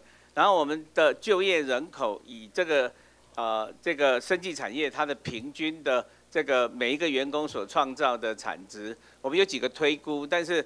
这部分不是非常准，不是非常准的原因在于，我们台湾每一个生技从业人员他所创造的产值跟国际上的数字有一个差距，那部分我们正在做分析，所以它的就业人口就像您刚提到，就是它到底产生多少就业人口那一块，我们有极佳跟这个最好跟最不好的那个分析，那个数字我们在这几天再提出更详细的报告给您，这样。跟部长请教了，不要推估到二零二五了，二零二五哦。呃，大家都不在这里。二零二五太久了，你总要个三年到五年吧。我我不想部长，你可以做到二零二五啦。你总要个三到五年的一个计划大约吧。你一个大约的数字，你假设哦，我经济部你把生技医药产业当为最重要的推动目标，你短中长期每一个目标你怎么内管，怎么推动，你采取的措施。我觉得不好哎，部分有裂，但是我们有裂哦。你今天来这里报告要讲出来啊！你刚刚跟我讲二零二五哦，啊，不定哦，没了，二零二五哦，打到不迪家。想的是，因为生技产业必须有一个高的目标来定定。那那明哥，我请教你的是三到五年内，现在是两千九百多亿嘛？你营业额五千亿有没有可能？当然有啊，有可能啊。营业额五千亿有可能呢？什么时候达到五千亿？我们现在的计算是我们至少每一年能够达到六到八个 percent，八 percent 左右的。所以五千亿两两年内、三年内会达到。二零二零的时候会达到。二零二零哦。对，因为因为你要你提你你们站在那里推估二零二零，闭着眼睛就可以推估。不是。那个，我得跟委员报告这件事。生技产业现在全球的成长是五个 percent，对。那我们在估算，我们台湾在这一部分在短期的成长是八个 percent，那已经比国际上的趋势来的大了。对，好，所以我们三到五年大概有一个数字吧。对，就是我刚刚讲的嘛，八个 percent 左右。OK，好，谢谢。好，谢谢我们曾委员。接下来。我们请叶金委员，叶一金，叶金委员不在；赖世宝委员，赖世宝，赖世宝委员不在；吴志阳委员，吴志阳，吴志阳委员不在；蒋乃新委员，蒋乃新，蒋乃新委员不在；徐正委员，徐正委，呃，徐正委，徐正卫委员不在；啊，蔡世英委员，蔡世英，蔡世英委员不在；陈廷飞委员，陈廷飞，陈廷飞委员不在；周成秀霞委员，周成秀霞，周成秀霞委员不在；吴思瑶委员，吴思瑶，吴思尧委员不在。陈赖素梅委员，陈赖素梅，陈赖素梅委员不在；郑英鹏委员，郑英鹏，郑英鹏委员不在。好，我们登记发言的委员除部在场外，其余已经已发言完毕。我们今天的询答就结束。委员邱莹、徐永明、林代化、邱志伟委员所提书面咨询列入记录，刊登公报。书面执行和未及答复部分，请相关单位于一周内以书面答复，并付之本会。委员咨询中要求提供之资料，请提供本会全体委员。好，那我们现在继续来进行我们的临时提案第四案的处理。委员，好，那第四案我们先保留吗？三跟四，好，OK，好。呃，关委员，那我们第三案、第四案我们就先保留，好不好？没有，他们现在在沟通啦。好，好，那跟跟委员报告，那我们今天的临时提案一共有几案？好，一共有七案。那我们第三案、第四案，我们就先行保留，我们留待明天处理。其余我们临时提案就照案通过。好，那本日议程我们今天就处理完毕，休息。明日上午九时继续开会。好，休息。